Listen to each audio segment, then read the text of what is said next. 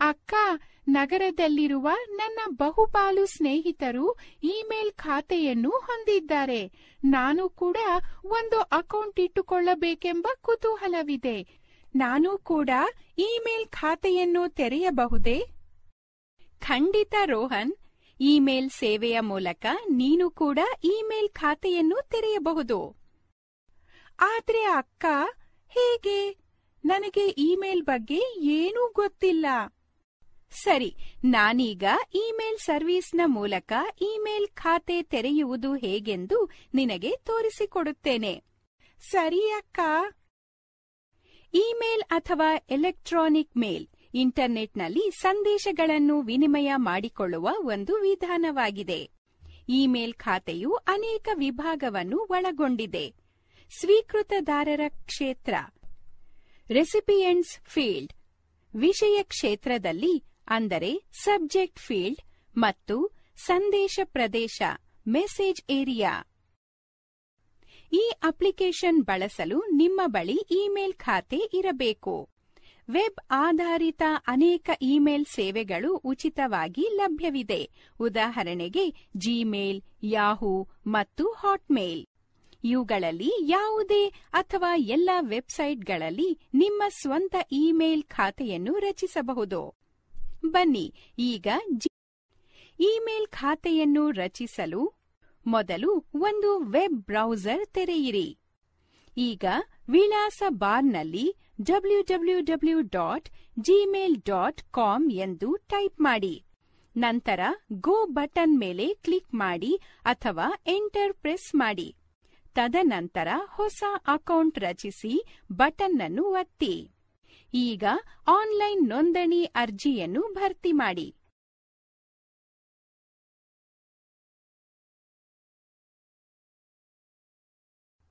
ನಂತರ next steps button click ಮಾಡಿ. ತದನಂತರ ಜಿಮೇಲ್ಗಾಗಿ ಕಂಟಿನ್ಯೂ ಬಟನ್ ಅನ್ನು ಕ್ಲಿಕ್ ಮಾಡಿ. ಈಗ ನೀವು ಇಮೇಲ್ ಖಾತೆಯನ್ನು ಬಳಸಬಹುದು. ನಿಮ್ಮ ಇಮೇಲ್ ಅಕೌಂಟ್ ಅನ್ನು ಪ್ರವೇಶಿಸಲು ಮೊದಲಿಗೆ ನೀವು ಸೈನ್ ಇನ್ ಆಗಬೇಕು. ಇದಕ್ಕಾಗಿ ಜಿಮೇಲ್ನ ಹೋಮ್ ಪೇಜ್ಗೆ ಹೋಗಿ ಮತ್ತು ಸ್ಕ್ರೀನ್ನ ಬಲಭಾಗದಲ್ಲಿ ತೋರಿಸಲ್ಪಡುವ ಸ್ಥಳದಲ್ಲಿ ನಿಮ್ಮ ಬಳಕೆದಾರನ ಹೆಸರು ಮತ್ತು ಪಾಸ್ವರ್ಡ್ ಅನ್ನು ನಮೂದಿ, ನಂತರ ಕೆಳಭಾಗದಲ್ಲಿ ಸೈನ್ ಇನ್ ಅನ್ನು ಕ್ಲಿಕ್ ಮಾಡಿ. ನೀವು ಈಗ ನಿಮ್ಮ ಅಕೌಂಟ್ಸ್ ಪೇಜ್ ಅನ್ನು ವೀಕ್ಷಿಸಬಹುದು. ಹಲವು ಲಿಂಕ್ಗಳು ಪೇಜ್ನಲ್ಲಿ ಪ್ರದರ್ಶಿತವಾಗುತ್ತವೆ. Inbox, starred, important, sent mail, drafts ಮತ್ತು ಕಾಂಪೋಸ್. ಈ ಲಿಂಕ್ಗಳು ಸಂಬಂಧಿತ ಇಮೇಲ್ ಐಟಂಗಳನ್ನು ಹೊಂದಿರುತ್ತವೆ. ಇನ್ಬಾಕ್ಸ್ ಎಲ್ಲ ಒಳಬರುವ ಮೇಲ್ಗಳನ್ನು ಹೊಂದಿರುತ್ತದೆ. ಇನ್ಬಾಕ್ಸ್ ಅನ್ನು ಕ್ಲಿಕ್ ಮಾಡುವುದರ ಮೂಲಕ ನೀವು ಸ್ವೀಕರಿಸಿದ ಎಲ್ಲ ಇಮೇಲ್ಗಳನ್ನು ಪ್ರವೇಶಿಸಬಹುದು ಅಥವಾ ನೋಡಬಹುದು. ಆನ್ಲೈನ್ನಲ್ಲಿರುವ ನಿಮ್ಮ ಸ್ನೇಹಿತರೊಂದಿಗೆ ನೀವು ಚಾಟ್ ಮಾಡಬಹುದು.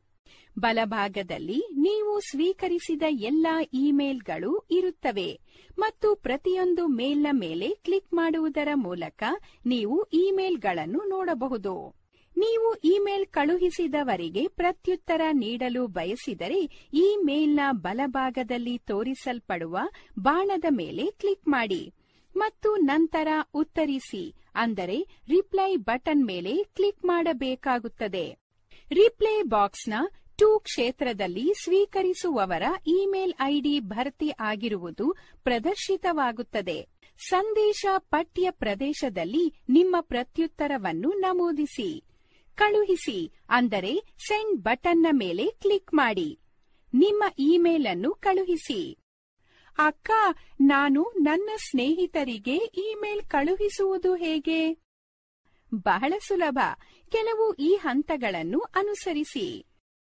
ಮೊದಲ ಕಂಪೋಸ್ ಗುಂಡಿಯನ್ನು ಕ್ಲಿಕ್ ಮಾಡಿ. ಆಗ ಒಂದು ಹೊಸ ಮೆಸೇಜ್ ವಿಂಡೋ ಪ್ರದರ್ಶಿತವಾಗುತ್ತದೆ. ನಂತರ ಇಂದ ಕ್ಷೇತ್ರದಲ್ಲಿ ನೀವು ಇಮೇಲ್ ಕಳುಹಿಸಲು ಬಯಸುವ ವ್ಯಕ್ತಿಯ ಇಮೇಲ್ ಐಡಿಯನ್ನು ಟೈಪಿಸಿ.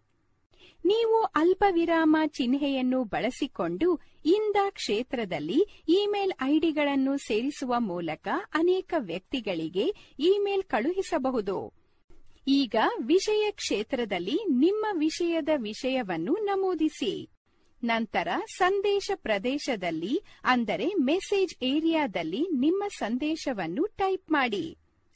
ಸಬ್ಜೆಕ್ಟ್ ಬಾಕ್ಸ್ನ ಕೆಳಗಿರುವ ಅಟ್ಯಾಚ್ ಎ ಫೈಲ್, ಲಿಂಕ್ ಅಥವಾ ಫೈಲ್ ಲಗತ್ತಿಸಿ, ಮೇಲೆ ಕ್ಲಿಕ್ ಮಾಡುವ ಮೂಲಕ ನೀವು ಡಾಕ್ಯುಮೆಂಟ್ ಅಥವಾ ಚಿತ್ರಗಳನ್ನು ಲಗತ್ತಿಸಬಹುದು. ಮೆಸೇಜ್ ಏರಿಯಾದ ಮೇಲಿರುವ ಫಾರ್ಮ್ಯಾಟಿಂಗ್ ಬಟನ್ಸ್ ನಿಮ್ಮ ಅವಶ್ಯಕತೆ ಪ್ರಕಾರ ನಿಮ್ಮ ಸಂದೇಶವನ್ನು ಫಾರ್ಮ್ಯಾಟ್ ಮಾಡಲು ಅನುಮತಿಸುತ್ತದೆ. ತದನಂತರ ನಿಮ್ಮ ಸಂದೇಶವನ್ನು ಕಳುಹಿಸಲು ಕಳುಹಿಸಿ ಬಟನ್ ಅನ್ನು ಕ್ಲಿಕ್ ಮಾಡಿ. ಯಶಸ್ವಿಯಾಗಿ ಕಳುಹಿಸಲ್ಪಟ್ಟ ಎಲ್ಲ ಇಮೇಲ್ಗಳು ಕಳುಹಿಸಿದ ಅಂಚೆ, ಅಂದರೆ ಸೆಂಡ್ ಮೇಲ್ ಫೋಲ್ಡರ್ನಲ್ಲಿ ಸಂಗ್ರಹವಾಗುತ್ತವೆ. ನಿಮ್ಮ ಕೆಲವು ಅಪೂರ್ಣ ಇಮೇಲ್ಗಳನ್ನು ಡ್ರಾಫ್ಟ್ ಫೋಲ್ಡರ್ನಲ್ಲಿ ಸಂಗ್ರಹವಾಗುತ್ತದೆ. ಈ ಡ್ರಾಫ್ಟ್ಗಳನ್ನು ಯಾವಾಗ ಬೇಕಾದರೂ ಪೂರ್ಣಗೊಳಿಸಬಹುದು ಮತ್ತು ಮತ್ತೆ ಕಳುಹಿಸಬಹುದು. ಹೊಸ ಸಂದೇಶವನ್ನು ರಚಿಸಲು ಹೊಸ, ಅಂದರೆ ನ್ಯೂ ಅಥವಾ ಸಂದೇಶ ರಚಿಸಿ ಕಾಂಪೋಸ್ ಮೇಲ್ ಬಟನ್ ಮೇಲೆ ಕ್ಲಿಕ್ ಮಾಡಿ. ನಂತರ ಟು ಬಾಕ್ಸ್ ಅನ್ನು ಕ್ಲಿಕ್ ಮಾಡಿ ನೀವು ಸಂದೇಶ ಕಳುಹಿಸಲು ಇಚ್ಛಿಸುವ ವ್ಯಕ್ತಿಯ ಇಮೇಲ್ ವಿಳಾಸವನ್ನು ಟೈಪ್ ಮಾಡಿ. ನೀವು ಇನ್ನೊಂದು ವ್ಯಕ್ತಿಗೆ ನಿಮ್ಮ ಸಂದೇಶದ ಪ್ರತಿಯನ್ನು ಕಳುಹಿಸಲು ಬಯಸಿದರೆ ಸಿಸಿ ಬಾಕ್ಸ್ನಲ್ಲಿ ವ್ಯಕ್ತಿಯ ಇಮೇಲ್ ವಿಳಾಸವನ್ನು ನಮೂದಿಸಿ. ಸಿಸಿ ಎಂದರೆ ಕಾರ್ಬನ್ ಕಾಪಿ. ಈಗ ವಿಷಯ ಬಾಕ್ಸ್ನಲ್ಲಿ ನಿಮ್ಮ ಸಂದೇಶದ ಒಂದು ಸಣ್ಣ ಶೀರ್ಷಿಕೆಯನ್ನು ಟೈಪ್ ಮಾಡಿ. ತದನಂತರ ವಿಷಯ ಬಾಕ್ಸ್ ಕೆಳಗೆ ಇರುವ ಖಾಲಿ ಜಾಗದ ಮೇಲೆ ಕ್ಲಿಕ್ ಮಾಡಿ. ಇದೇ ನೀವು ನಿಮ್ಮ ಸಂದೇಶವನ್ನು ಟೈಪ್ ಮಾಡಬೇಕಾಗಿರುವ ಸ್ಥಳ. ಎಲ್ಲ ಮಾಹಿತಿಗಾಗಿ ಧನ್ಯವಾದಗಳು ಅಕ್ಕ. ಈಗ ನಾನು ನನ್ನ ಸ್ನೇಹಿತರ ಇಮೇಲ್ ಒಂದಕ್ಕೆ ಪ್ರತ್ಯುತ್ತರ ನೀಡಬಯಸಿದರೆ ಮಾಡುವುದು ಹೇಗೆ? ಇಮೇಲ್ಗೆ ಪ್ರತ್ಯುತ್ತರ ನೀಡುವ ಹಂತಗಳು. ಮೊದಲು ಸಂದೇಶವನ್ನು ಆಯ್ಕೆ ಮಾಡಿ, ನಂತರ ರಿಪ್ಲೈ ಮೇಲೆ ಕ್ಲಿಕ್ ಮಾಡಿ.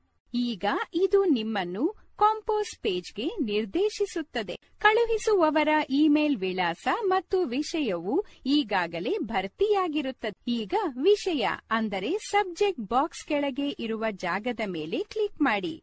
ನಿಮ್ಮ ಸಂದೇಶವನ್ನು ಟೈಪ್ ಮಾಡಿ. ನೀವು ಡ್ರಾಫ್ಟ್ ಸಂದೇಶವನ್ನು ಉಳಿಸಲು ಬಯಸಿದ್ದಲ್ಲಿ ಡ್ರಾಫ್ಟ್ ಸೇವ್ ಅಥವಾ ಸೇವ್ ನೌ ಅನ್ನು ಕ್ಲಿಕ್ ಮಾಡಿ. ತದನಂತರ ನಿಮ್ಮ ಸಂದೇಶವನ್ನು ಕಳುಹಿಸಲು ಕಳುಹಿಸು ಮೇಲೆ ಕ್ಲಿಕ್ ಮಾಡಿ.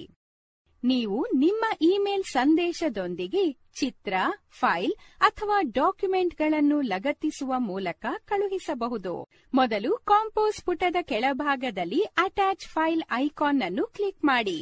ಫೋಲ್ಡರ್ ಫೈಲ್ ಆಯ್ಕೆ ಮಾಡುವಂತೆ ಕೇಳಿ. ಒಂದು ಹೊಸ ವಿಂಡೋ ಪಾಪ್ ಅಪ್ ಆಗುತ್ತದೆ. ಬ್ರೌಸ್ ಮಾಡಿ, ನಂತರ ನೀವು ಲಗತ್ತಿಸ ಬಯಸುವ ಫೈಲ್ ಮೇಲೆ ಕ್ಲಿಕ್ ಮಾಡಿ. ನಂತರ ವಿಂಡೋನಲ್ಲಿ ಓಪನ್ ಮೇಲೆ ಕ್ಲಿಕ್ ಮಾಡಿ. ನೀವು ಲಗತ್ತಿಸಲಾದ ಫೈಲ್ ವಿಷಯ ಬಾಕ್ಸ್ ಕೆಳಗೆ ಪ್ರದರ್ಶಿತವಾಗುತ್ತದೆ. ನಂತರ ನಿಮ್ಮ ಸಂದೇಶವನ್ನು ಕಳುಹಿಸಲು ಸೆಂಡ್ ಮೇಲೆ ಕ್ಲಿಕ್ ಮಾಡಿ. ಒಂದು ಸಂದೇಶ ಅಥವಾ ಹಲವಾರು ಸಂದೇಶಗಳನ್ನು ಅಳಿಸಲು ಮೊದಲು ಇನ್ಬಾಕ್ಸ್ ಕ್ಲಿಕ್ ಮಾಡಿ. ನಂತರ ನೀವು ಡಿಲೀಟ್ ಮಾಡಬೇಕಾಗಿರುವ ಮೆಸೇಜ್ಗಳ ಪಕ್ಕ ಇರುವ ಚೆಕ್ ಬಾಕ್ಸ್ ಅನ್ನು ಕ್ಲಿಕ್ ಮಾಡಿ. ನಂತರ ಪೇಜ್ನ ಮೇಲಿರುವ ಡಿಲೀಟ್ ಅನ್ನು ಕ್ಲಿಕ್ ಮಾಡಿ. ಮೊದಲು ನಿಮ್ಮ ಇಮೇಲ್ ಅಕೌಂಟ್ನ ಬಲಭಾಗದಲ್ಲಿರುವ ಸೈನ್ ಔಟ್ ಆಯ್ಕೆಯನ್ನು ಕ್ಲಿಕ್ ಮಾಡಿ. ನೀವು ಸಂದೇಶ ಸ್ವೀಕರಿಸಿದವರಿಗೆ ಉತ್ತರ ನೀಡಲು ರಿಪ್ಲೈಯನ್ನು ಆಯ್ಕೆ ಮಾಡಿ. ನೀವು ಸ್ವೀಕರಿಸಿದ ಇಮೇಲ್ನಲ್ಲಿ ನಮೂದಿಸಲಾದ ಎಲ್ಲ ಇಮೇಲ್ಗಳಿಗೂ ಪ್ರತ್ಯುತ್ತರ ನೀಡಲು ರಿಪ್ಲೈ ಆಲ್ ಅನ್ನು ಆಯ್ಕೆ ಮಾಡಿ. ನೀವು ಯಾವುದಾದರೂ ಒಂದು ನಿರ್ದಿಷ್ಟ ಇಮೇಲ್ ಅನ್ನು ಯಾರಿಗಾದರೂ ಕಳುಹಿಸಬೇಕಾದಲ್ಲಿ ಮತ್ತು ಅವರ ಇಮೇಲ್ ಐಡಿ ಎಲ್ಲೂ ನಮೂದಿಸಲ್ಪಟ್ಟಿಲ್ಲವಾದಲ್ಲಿ ಆ ಇಮೇಲ್ ಅನ್ನು ಫಾರ್ವರ್ಡ್ ಬಟನ್ ಅನ್ನು ಆಯ್ಕೆ ಮಾಡುವ ಮೂಲಕ ಆ ವ್ಯಕ್ತಿಗೆ ಕಳುಹಿಸಿ ಈಗ ನೀವು ನಿಮ್ಮ ಇಮೇಲ್ ಅಕೌಂಟ್ಗೆ ಲಾಗಿನ್ ಆಗಿ ಇಮೇಲ್ ರಚಿಸಿ. ನಂತರ ಫೋಟೋವನ್ನು ಲಗತ್ತಿಸಿ ನಿಮ್ಮ ಸ್ನೇಹಿತರಿಗೆ ಕಳುಹಿಸುವುದನ್ನು ನೋಡೋಣ. ಹೌದು, ಸ್ವತಃ ನಾನೇ ಪ್ರಯತ್ನಿಸಲು ಆಸಕ್ತನಾಗಿದ್ದೇನೆ. ಹಂತ ಒಂದು. ಜಿಮೇಲ್ ಹೋಮ್ ಪೇಜ್ನಲ್ಲಿ ನಿಮ್ಮ ಇಮೇಲ್ ಐಡಿ ಮತ್ತು ಪಾಸ್ವರ್ಡ್ ಅನ್ನು ನಮೂದಿಸಿ ಸೈನ್ ಇನ್ ಮಾಡಿ. ಹಂತ ಎರಡು. ಕಾಂಪೋಸ್ ಬಟನ್ ಮೇಲೆ ಕ್ಲಿಕ್ ಮಾಡಿ. ಆಗ ಹೊಸ ಮೆಸೇಜ್ ವಿಂಡೋ ತೆರೆದುಕೊಳ್ಳುತ್ತದೆ. ಹಂತ ಮೂರು. ಟು ಏರಿಯಾದಲ್ಲಿರುವ ನಿಮ್ಮ ಸ್ನೇಹಿತರ ಇಮೇಲ್ ಅಡ್ರೆಸ್ ಅನ್ನು ನಮೂದಿಸಿ. ಹಂತ ನಾಲ್ಕು. ಸಬ್ಜೆಕ್ಟ್ ಏರಿಯಾದಲ್ಲಿ ವಿಷಯವನ್ನು ನಮೂದಿಸಿ. ಹಂತ ಐದು. ನಂತರ ಫೋಟೋ ಲಗತ್ತಿಸಲು ಫೈಲ್ ಅಟ್ಯಾಚ್ ಮೇಲೆ ಕ್ಲಿಕ್ ಮಾಡಿ. ಹಂತ ಆರು. ಹೊಸ ವಿಂಡೋ ಒಂದು ಮೂಡುತ್ತದೆ. ಆಗ ಫೋಟೋ ಆಯ್ಕೆ ಮಾಡಿ ಓಪನ್ ಮೇಲೆ ಕ್ಲಿಕ್ ಮಾಡಿ. ಹಂತ ಏಳು. ಮೆಸೇಜ್ ಬಾಕ್ಸ್ನಲ್ಲಿ ನಿಮ್ಮ ಸಂದೇಶವನ್ನು ಟೈಪ್ ಮಾಡಿ. ಹಂತ ಎಂಟು. ಇಮೇಲ್ ಅನ್ನು ಕಳುಹಿಸಲು ಸೆಂಡ್ ಬಟನ್ ಮೇಲೆ ಕ್ಲಿಕ್ ಇಂಟರ್ನೆಟ್ ಅನ್ನು ಬಳಸುವ ಅನೇಕ ಆಸಕ್ತಿದಾಯಕ ಮಾರ್ಗಗಳಿವೆ. ಅದರಲ್ಲಿ ಒಂದು, ವಾಯ್ಸ್ ಮೇಲ್ ಅನ್ನು ಕಳುಹಿಸುವುದು ಅಥವಾ ಇಂಟರ್ನೆಟ್ ಅನ್ನು ಮೊಬೈಲ್ ಫೋನ್ ಆಗಿ ಉಪಯೋಗಿಸಬಹುದು. ಹೌದಾ ಅಕ್ಕ? ವಾವ್! ತುಂಬಾ ಉತ್ತೇಜನಕಾರಿಯಾಗಿದೆ. ಹೌದು ರೋಹನ್, ಇಂಟರ್ನೆಟ್ ದೂರವಾಣಿಯನ್ನು ಸಾಧ್ಯವಾಗಿಸುವ ಸೇವೆಗಳು ಇವೆ. ನೀವು ದಯವಿಟ್ಟು ಅವುಗಳ ಬಗ್ಗೆ ನನಗೆ ತಿಳಿಸಿಕೊಡುವಿರಾ? ಖಂಡಿತ. ಈಗ ಇಂತಹ ಸೇವೆಗಳ ಬಗ್ಗೆ ಚರ್ಚಿಸೋಣ. Voice over internet protocol, internet phone ಸೇವೆಗಳಿಗೆ ಬಳಸಲಾಗುವ ಒಂದು ತಂತ್ರಜ್ಞಾನ.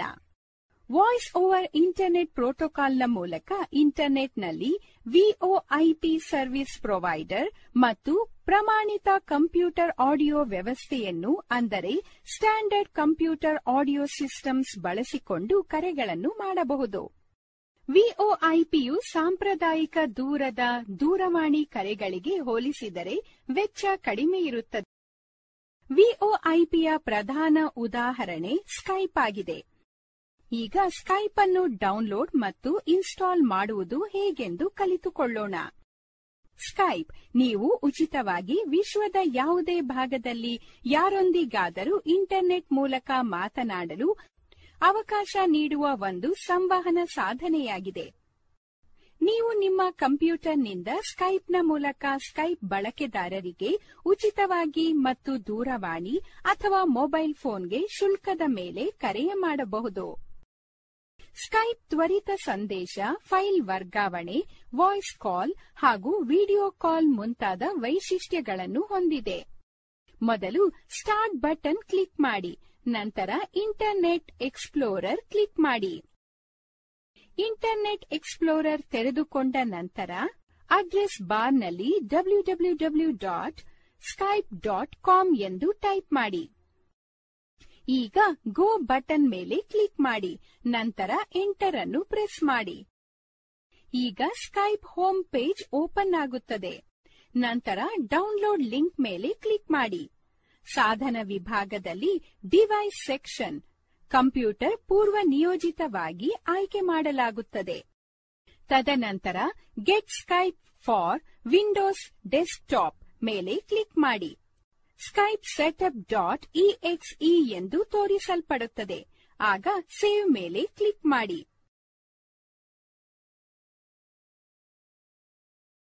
ಅಪ್ಲಿಕೇಶನ್ ಅನ್ನು ಇನ್ಸ್ಟಾಲ್ ಮಾಡಲು ಸೆಟಪ್ ಫೈಲ್ಗಳು ಸೇವ್ ಆಗಿರುವ ಲೊಕೇಶನ್ಗೆ ಹೋಗಿ, ನಂತರ Skype setup dot E X E ಮೇಲೆ ಡಬಲ್ ಕ್ಲಿಕ್ ಮಾಡಿ. ಫೈಲ್ ತೆರೆಯಿರಿ. ಸೆಕ್ಯೂರಿಟಿ ವಾರ್ನಿಂಗ್ ಬರುತ್ತದೆ. ನಂತರ ರನ್ ಬಟನ್ ಮೇಲೆ ಕ್ಲಿಕ್ ಮಾಡಿ. ಇನ್ಸ್ಟಾಲ್ ಮಾಡಲು ಆರಂಭಿಸಿ. ಈಗ ಲ್ಯಾಂಗ್ವೇಜ್ ಡ್ರಾಪ್ ಡೌನ್ ಮೆನುವಿನಲ್ಲಿ ಇಂಗ್ಲಿಷ್ ಭಾಷೆಯನ್ನು ಆಯ್ಕೆ ಮಾಡಿ. ನಂತರ ಐ ಅಗ್ರಿ ನೆಕ್ಸ್ಟ್ ಬಟನ್ ಅನ್ನು ಕ್ಲಿಕ್ ಮಾಡಿ. ನಂತರ ಕಂಟಿನ್ಯೂ ಮೇಲೆ ಕ್ಲಿಕ್ ಮಾಡಿ. ಆಗ ಸ್ಕೈಪ್ ಇನ್ಸ್ಟಾಲೇಷನ್ ಆರಂಭವಾಗುತ್ತದೆ. ಇನ್ಸ್ಟಾಲೇಷನ್ ಮುಕ್ತಾಯವಾಗುವವರೆಗೆ ಕಾಯಿರಿ. ಒಮ್ಮೆ ಇನ್ಸ್ಟಾಲೇಷನ್ ಮುಗಿದ ನಂತರ ಕ್ರಿಯೇಟ್ ಆನ್ ಅಕೌಂಟ್ ಈ ಬಟನ್ನ ಮೇಲೆ ಕ್ಲಿಕ್ ಮಾಡಿ. ಆಗ ಸೈನ್ ಅಪ್ ವೆಬ್ ಪೇಜ್ ತೆರೆದುಕೊಳ್ಳುತ್ತದೆ.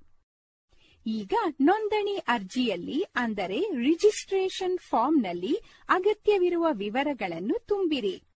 ನಂತರ ಸೆಕ್ಯೂರಿಟಿ ವರ್ಡ್ಸ್ ಅನ್ನು ಬಾಕ್ಸ್ನಲ್ಲಿ ಟೈಪ್ ಮಾಡಿ. ನಂತರ ಐ ಅಗ್ರಿ ಕಂಟಿನ್ಯೂ ಬಟನ್ನ ಮೇಲೆ ಕ್ಲಿಕ್ ಮಾಡಿ.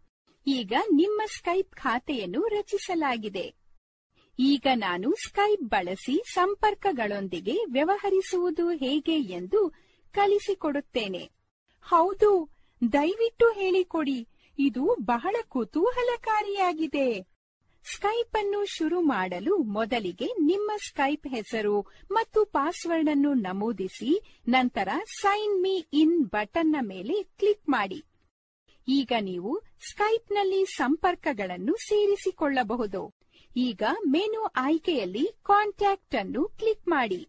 ನಂತರ ಸರ್ಚ್ ಸ್ಕೈಪ್ ಡೈರೆಕ್ಟರಿಯನ್ನು ಆಯ್ಕೆ ಮಾಡಿ. ನಂತರ ನೀವು ಸೇರಿಸಲು ಇಚ್ಛಿಸುವ ವ್ಯಕ್ತಿಯ ವಿವರಗಳನ್ನು ನಮೂದಿಸಿ. ಆಗ ಅದು ನಿಮ್ಮ ಇಮೇಲ್ ಐಡಿ, ಫೋನ್ ನಂಬರ್ ಮತ್ತು ಸ್ಕೈಪ್ ಹೆಸರಿನ ವಿವರಗಳನ್ನು ಕೇಳುತ್ತದೆ.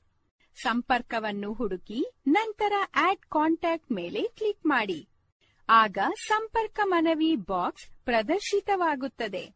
ನಂತರ, ಸೆಂಡ್ ರಿಕ್ವೆಸ್ಟ್ ಬಟನ್ ಅನ್ನು ಒತ್ತಿರಿ. ಆ ವ್ಯಕ್ತಿಯು ನಿಮ್ಮ ಮನವಿಯನ್ನು ಒಪ್ಪಿಕೊಂಡ ಅಥವಾ ಸ್ವೀಕರಿಸಿದ ನಂತರ ಅವಳ ಅಥವಾ ಅವನ ಹೆಸರು ಕಾಂಟ್ಯಾಕ್ಟ್ ಪಟ್ಟಿಯಲ್ಲಿ ಬರುತ್ತದೆ. ಆನ್ಲೈನ್ನಲ್ಲಿ ಇರುವವರ ಸಂಪರ್ಕವನ್ನು ಆಯ್ಕೆ ಮಾಡುವುದರ ಮೂಲಕ ನೀವು ಅವರೊಟ್ಟಿಗೆ ಸಂವಹನ ಮಾಡಬಹುದು. ಕಾಂಟ್ಯಾಕ್ಟ್ನ ಪಕ್ಕ ಹಸಿರು ಚೆಕ್ ಮಾರ್ಕ್ ಬಂದರೆ ಅವರು ಆನ್ಲೈನ್ನಲ್ಲಿ ಇದ್ದಾರೆ ಎಂದು ಅರ್ಥ. ಕಾಂಟ್ಯಾಕ್ಟ್ ಸ್ಟ್ಯಾಬ್ ಮೇಲೆ ಕ್ಲಿಕ್ ಮಾಡಿ. ಈಗ ನೀವು ಮಾತನಾಡಲು ಇಚ್ಛಿಸುವ ವ್ಯಕ್ತಿಯ ಹೆಸರಿನ ಮೇಲೆ ಕ್ಲಿಕ್ ಮಾಡಿ. ಆಗ ಆ ವ್ಯಕ್ತಿಯ ಹೆಸರಿನ ಸಹಿತವಾಗಿ ಒಂದು ಚಾಟ್ ವಿಂಡೋ ತೆರೆದುಕೊಳ್ಳುತ್ತದೆ.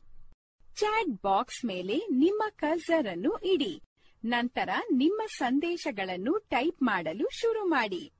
ಸೆಂಡ್ ಮೇಲೆ ಕ್ಲಿಕ್ ಮಾಡಿ, ನಂತರ ಸಂದೇಶವನ್ನು ಕಳುಹಿಸಲು ಎಂಟರ್ ಅನ್ನು ಪ್ರೆಸ್ ಮಾಡಿ. ನಂತರ ವಾಯ್ಸ್ ಕಾಲ್ ಮಾಡಲು ಕಾಲ್ ಬಟನ್ನ ಮೇಲೆ ಕ್ಲಿಕ್ ಮಾಡಿ. ನಂತರ ಆ ಕಾಂಟ್ಯಾಕ್ಟ್ ನಿಮ್ಮ ಕರೆಯನ್ನು ಸ್ವೀಕರಿಸಿದರೆ ನೀವು ಅವರೊಟ್ಟಿಗೆ ಮಾತನಾಡಬಹುದು. ಕರೆಯನ್ನು ಮುಕ್ತಾಯಗೊಳಿಸಲು ಎಂಡ್ ಕಾಲ್ ಬಟನ್ ಅನ್ನು ಕ್ಲಿಕ್ ಮಾಡಿ. ಒಂದು ವೇಳೆ ನಿಮ್ಮ ಕಂಪ್ಯೂಟರ್ನಲ್ಲಿ ವೆಬ್ ಕ್ಯಾಮೆರಾ ಇದ್ದರೆ ನೀವು ವಿಡಿಯೋ ಕರೆಗಳನ್ನು ಮಾಡಬಹುದು. ವಿಡಿಯೋ ಕರೆಯನ್ನು ಆರಂಭಿಸಲು ವಿಡಿಯೋ ಕಾಲ್ ಮೇಲೆ ಕ್ಲಿಕ್ ಮಾಡಿ. ನೀವು ಸಂಪರ್ಕವನ್ನು ಆಯ್ಕೆ ಮಾಡುವ ಮೂಲಕ ಫೈಲ್ಗಳನ್ನು ಕೂಡ ಸಂಪರ್ಕಗಳೊಂದಿಗೆ ಹಂಚಿಕೊಳ್ಳಬಹುದು. ಕಾನ್ವರ್ಸೇಷನ್ ಬಟನ್ ಅನ್ನು ಆಯ್ಕೆ ಮಾಡಿ. ನಂತರ ಸೆಂಡ್ ಆಯ್ಕೆ ಮಾಡಿ. ಅನಂತರ ಫೈಲ್ ಬಟನ್ ಅನ್ನು ಆಯ್ಕೆ ಮಾಡಿ. ಈಗ ನೀವು ಕಳುಹಿಸಬೇಕಾಗಿರುವ ಫೈಲ್ ಅನ್ನು ಆಯ್ಕೆ ಮಾಡಿ. ನಂತರ ಓಪನ್ ಮೇಲೆ ಕ್ಲಿಕ್ ಮಾಡಿ. ನಿಮ್ಮ ಸಂಪರ್ಕಗಳು ಕೂಡ ನಿಮಗೆ ಫೈಲ್ಗಳನ್ನು ಕಳುಹಿಸಬಹುದು.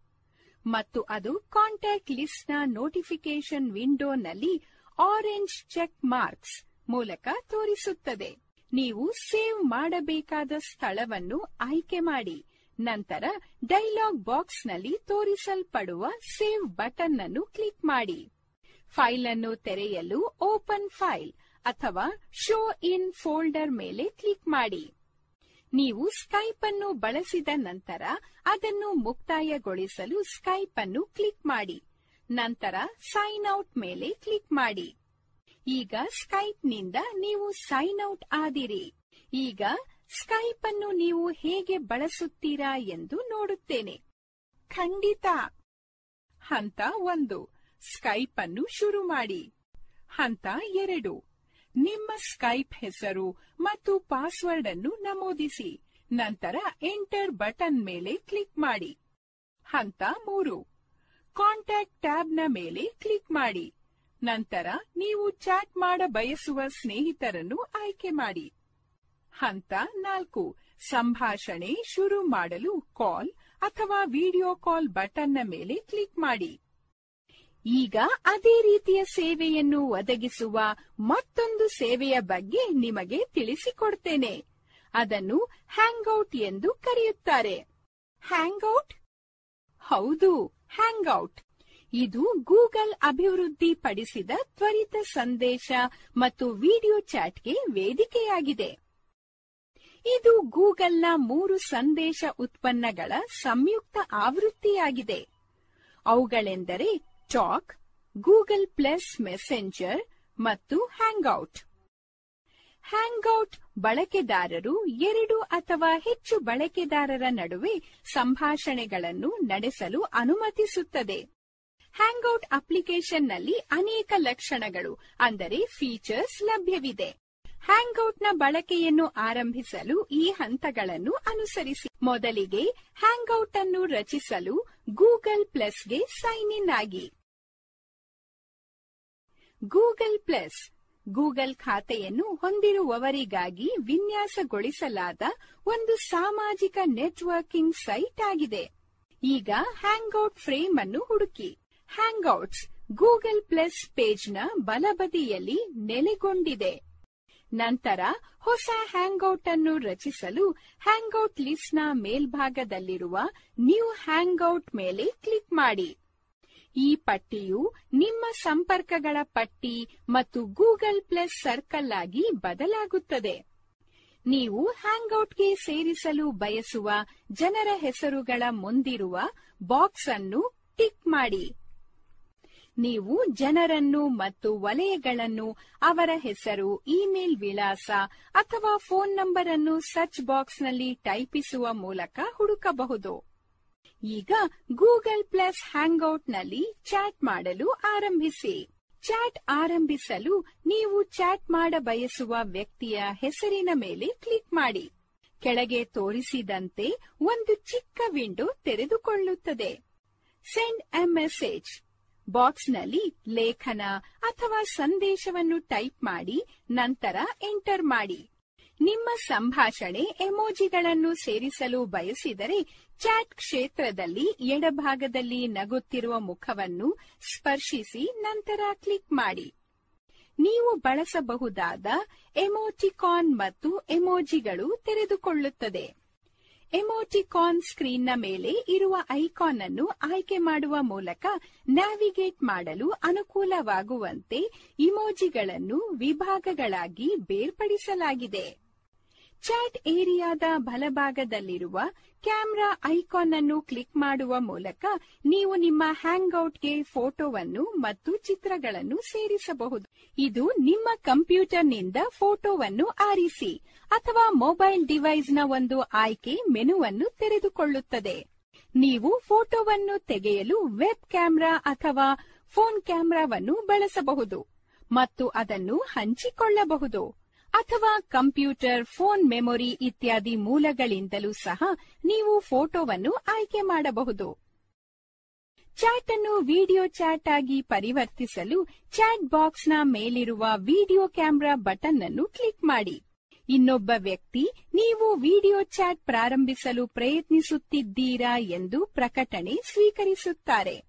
ಇನ್ನೊಬ್ಬ ವ್ಯಕ್ತಿ, ನೀವು ವಿಡಿಯೋ ಚಾಟ್ ಪ್ರಾರಂಭಿಸಲು ಪ್ರಯತ್ನಿಸುತ್ತಿದ್ದೀರಾ? ಎಂದು ಪ್ರಕಟಣೆ ಸ್ವೀಕರಿಸುತ್ತಾರೆ. ನೀವು ಮೊಬೈಲ್ ಅಥವಾ ಕಂಪ್ಯೂಟರ್ ಎರಡರಿಂದಲೂ ವಿಡಿಯೋ ಚಾಟ್ ಮಾಡಬಹುದು. ನೀವು ನಿಮ್ಮ ಚಾಟಿಂಗ್ ಸೆಟ್ಟಿಂಗ್ ಅನ್ನು ಹೊಂದಿಸಲು ಬಯಸಿದರೆ, ನಿಮ್ಮ ಆರ್ಚೀವ್ ಸೆಟ್ಟಿಂಗ್ ಅನ್ನು ಆಯ್ಕೆ ಮಾಡಲು ಚಾಟ್ ವಿಂಡೋದಲ್ಲಿ ಇರುವ ಗೇರ್ ಐಕಾನ್ ಅನ್ನು ಕ್ಲಿಕ್ ಮಾಡಿ. ನೀವು ಚಾಟ್ ವ್ಯಕ್ತಿಯನ್ನು ನಿರ್ಬಂಧಿಸಬಹುದು ಅಥವಾ ಬ್ಲಾಕ್ ಮಾಡಬಹುದು. ಒಂದು ವೇಳೆ ನೀವು ಮೊಬೈಲ್ ಅನ್ನು ಬಳಸುತ್ತಿದ್ದಲ್ಲಿ ಮೆನು ಬಟನ್ ಅನ್ನು ಒತ್ತಿ ನಂತರ ಮೆನುವಿನಲ್ಲಿ ತೋರಿಸಲ್ಪಡುವ ನಿಮ್ಮ ಆಯ್ಕೆಯನ್ನು ಕ್ಲಿಕ್ ಮಾಡಿ. ಚಾಟ್ ವಿಂಡೋ ಮೇಲಿನ ಎಡ ಮೂಲೆಯಲ್ಲಿ ಇರುವ ಸಮೂಹ ಹ್ಯಾಂಗ್ಔಟ್ ಆ ಬಟನ್ನ ಮೇಲೆ ಕ್ಲಿಕ್ಕಿಸುವುದರ ಮೂಲಕ ನೀವು ಗುಂಪಿನಲ್ಲಿ ಚಾಟ್ ಮಾಡಬಹುದು. ಗುಂಪನ್ನು ರಚಿಸಲು ಚೆಕ್ ಬಾಕ್ಸ್ ಮೇಲೆ ಕ್ಲಿಕ್ ಮಾಡಿ. ನೀವು ನಿಮ್ಮ ಚಾಟ್ ಅನ್ನು ಯಾವುದೇ ಸಮಯದಲ್ಲಿ ವೀಕ್ಷಿಸಲು ಅನುಕೂಲವಾಗುವಂತೆ ಯೂಟ್ಯೂಬ್ನಲ್ಲಿ ಸಂರಕ್ಷಿಸಬಹುದು. ಇದು ತುಂಬಾ ಆಸಕ್ತಿದಾಯಕವಾಗಿತ್ತು ಅಲ್ಲವೇ? ಬನ್ನಿ, ಈಗ ಇದಕ್ಕೆ ಸಂಬಂಧಿಸಿದ ಚಟುವಟಿಕೆಯಲ್ಲಿ ಭಾಗವಹಿಸೋ. ರೋಹನ್ ಇತ್ತೀಚಿನ ದಿನಗಳಲ್ಲಿ ವಿಶ್ವದ ಬಹಳ ಜನರು ಪರಸ್ಪರ ಸಂವಹನಕ್ಕಾಗಿ ಫೇಸ್ಬುಕ್ ಅಥವಾ ಇತರ ಸೋಷಿಯಲ್ ಮೀಡಿಯಾ ಸೇವೆಯನ್ನು ಬಳಸುತ್ತಿದ್ದಾರೆ.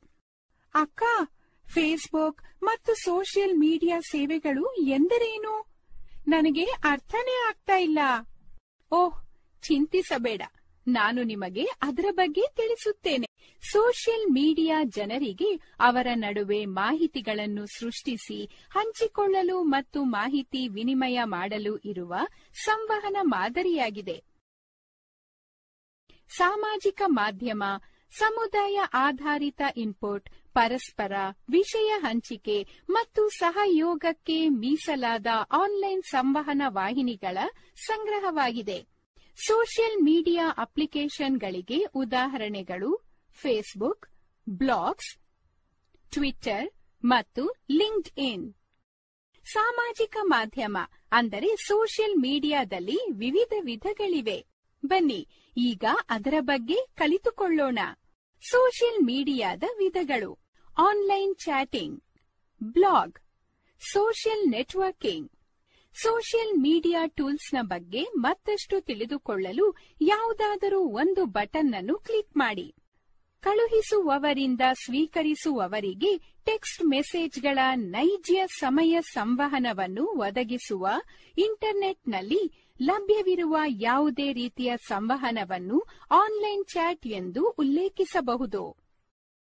ಆನ್ಲೈನ್ ಚಾಟ್ ಅನ್ನು ಪಾಯಿಂಟ್ ಟು ಪಾಯಿಂಟ್ ಕಮ್ಯುನಿಕೇಶನ್ ಅಲ್ಲದೆ ಒಬ್ಬರಿಂದ ಹಲವರಿಗೆ ಸಂದೇಶಗಳು ಮತ್ತು ವಾಯ್ಸ್ ಚಾಟ್ಗಳನ್ನು ಮಾಡಲು ಬಳಸಬಹುದು. ಉದಾಹರಣೆಗೆ, ಮೆಸೆಂಜರ್ ಮತ್ತು ಜಿ ಟಾಕ್ ಬ್ಲಾಗ್ ಒಬ್ಬ ವ್ಯಕ್ತಿ, ಗುಂಪು ಅಥವಾ ಸಂಸ್ಥೆಯಿಂದ ಇರಿಸಲ್ಪಟ್ಟ ಒಂದು ಆನ್ಲೈನ್ ಜರ್ನಲ್ ಆಗಿದೆ. ಇಂಟರ್ನೆಟ್ನಲ್ಲಿ ಯಾವುದೇ ವಿಷಯದ ಬಗ್ಗೆ ಮಾಹಿತಿಯನ್ನು ಹಂಚಿಕೊಳ್ಳಲು ಬ್ಲಾಗ್ಸ್ ಅನ್ನು ಬಳಸಬಹುದು. ಪ್ರಚಲಿತ ಘಟನೆಗಳು, ಬೆಳವಣಿಗೆಗಳು, ಆಸಕ್ತಿದಾಯಕ ಚರ್ಚೆಗಳನ್ನು ಇಲ್ಲಿ ಬರೆಯುವುದರ ಮೂಲಕ ಅವುಗಳ ಬಗ್ಗೆ ಬರೆಯಬಹುದು. ಬ್ಲಾಗ್ಸ್ಗೆ ಉದಾಹರಣೆಗಳೆಂದರೆ ಬ್ಲಾಗರ್ ಮತ್ತು WordPress. Social networking. Social network ನಿರ್ಮಿಸಲು ಒಂದು ವೇದಿಕೆಯಾಗಿದೆ.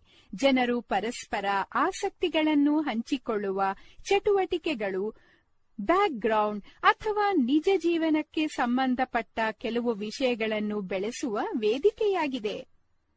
ಫೇಸ್ಬುಕ್ ಟ್ವಿಟರ್ ಮತ್ತು ಪ್ರಸ್ತುತ ಫೇಸ್ಬುಕ್ ಅತಿ ಜನಪ್ರಿಯ ಸೋಷಿಯಲ್ ಮೀಡಿಯಾ ಸೇವೆಯಾಗಿದೆ. ಈ ಸೇವೆಯನ್ನು ಬಳಸುವುದು ಹೇಗೆಂದು ನಾನೀಗ ಹೇಳಿಕೊಡ್ತೀನಿ. ಖಂಡಿತ ಅಕ್ಕ, ಫೇಸ್ಬುಕ್ ಬಗ್ಗೆ ತಿಳಿದುಕೊಳ್ಳಲು ನಾನು ಆಸಕ್ತನಾಗಿದ್ದೇನೆ. ಫೇಸ್ಬುಕ್ ಅನ್ನು ಬಳಸಲು ಈ ಹಂತಗಳನ್ನು ಅನುಸರಿಸಿ. ಮೊದಲು ವೆಬ್ ಬ್ರೌಸರ್ ಅನ್ನು ತೆರೆಯಿರಿ. ನಂತರ ಅಡ್ರೆಸ್ ಬಾರ್ನಲ್ಲಿ W W W dot Facebook dot com ಎಂದು ಟೈಪ್ ಮಾಡಿ, ನಂತರ ಗೋ ಬಟನ್ ಅನ್ನು ಒತ್ತಿ. ಸೈನ್ ಅಪ್ನಲ್ಲಿ ನೋಂದಣಿ ವಿವರಣೆಯನ್ನು ಭರ್ತಿ ಮಾಡಿ ನಂತರ ಸೈನ್ ಅಪ್ ಬಟನ್ ಅನ್ನು ಕ್ಲಿಕ್ ಮಾಡಿ. ರಿಜಿಸ್ಟ್ರೇಷನ್ ಅನ್ನು ಪೂರ್ಣಗೊಳಿಸಲು ಮೂರು ಹಂತಗಳನ್ನು ಅನುಸರಿಸಬೇಕಾಗುತ್ತದೆ. ಈಗ ಸಂಪರ್ಕಗಳನ್ನು ಸೇರಿಸಲು ಫೈಂಡ್ ಫ್ರೆಂಡ್ಸ್ ಮೇಲೆ ಕ್ಲಿಕ್ ಮಾಡಿ. ಬೇಕಾದರೆ ನೀವು ಈ ಹಂತವನ್ನು ಬಿಟ್ಟು ಬಿಡಬಹುದು. ನಂತರ ಪ್ರೊಫೈಲ್ ಮಾಹಿತಿ ಪೇಜ್ ಅನ್ನು ಭರ್ತಿ ಮಾಡಿ. ಬೇಕಾದರೆ ನೀವು ಈ ಪ್ರಕ್ರಿಯೆಯನ್ನು ಬಿಟ್ಟು ಬಿಡಬಹುದು ನಿಮ್ಮ ಕಂಪ್ಯೂಟರ್ನಲ್ಲಿ ಇರುವ ನಿಮ್ಮ ಫೋಟೋವನ್ನು ಅಪ್ಲೋಡ್ ಮಾಡುವ ಮೂಲಕ ನೀವು ನಿಮ್ಮ ಪ್ರೊಫೈಲ್ ಪಿಕ್ಚರ್ ಅನ್ನು ಸೆಟ್ ಮಾಡಬಹುದು. ತದನಂತರ ಸೇವ್ ಅಂಡ್ ಕಂಟಿನ್ಯೂ ಮೇಲೆ ಕ್ಲಿಕ್ ಮಾಡಿ. ಈಗ ನಿಮ್ಮ ಫೇಸ್ಬುಕ್ ಖಾತೆ ರಚಿಸಲ್ಪಟ್ಟಿದೆ. ಫೈಂಡ್ ಪೀಪಲ್ ಯು ನೋ ನಲ್ಲಿ ಅವರ ಹೆಸರು ಅಥವಾ ಇಮೇಲ್ ಐಡಿ ಟೈಪ್ ಮಾಡುವುದರ ಮೂಲಕ ವ್ಯಕ್ತಿಗಳನ್ನು ನೀವು ನಿಮ್ಮ ಲಿಸ್ಟ್ಗೆ ಸೇರಿಸಬಹುದು.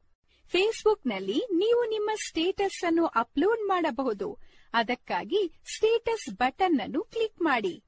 ನಂತರ ನೀವು ಹಾಕಬೇಕೆಂದಿರುವ ಸ್ಟೇಟಸ್ ಅನ್ನು ಟೈಪ್ ಮಾಡಿ. ನಂತರ ಪೋಸ್ಟ್ ಬಟನ್ ಮೇಲೆ ಕ್ಲಿಕ್ ಮಾಡಿ.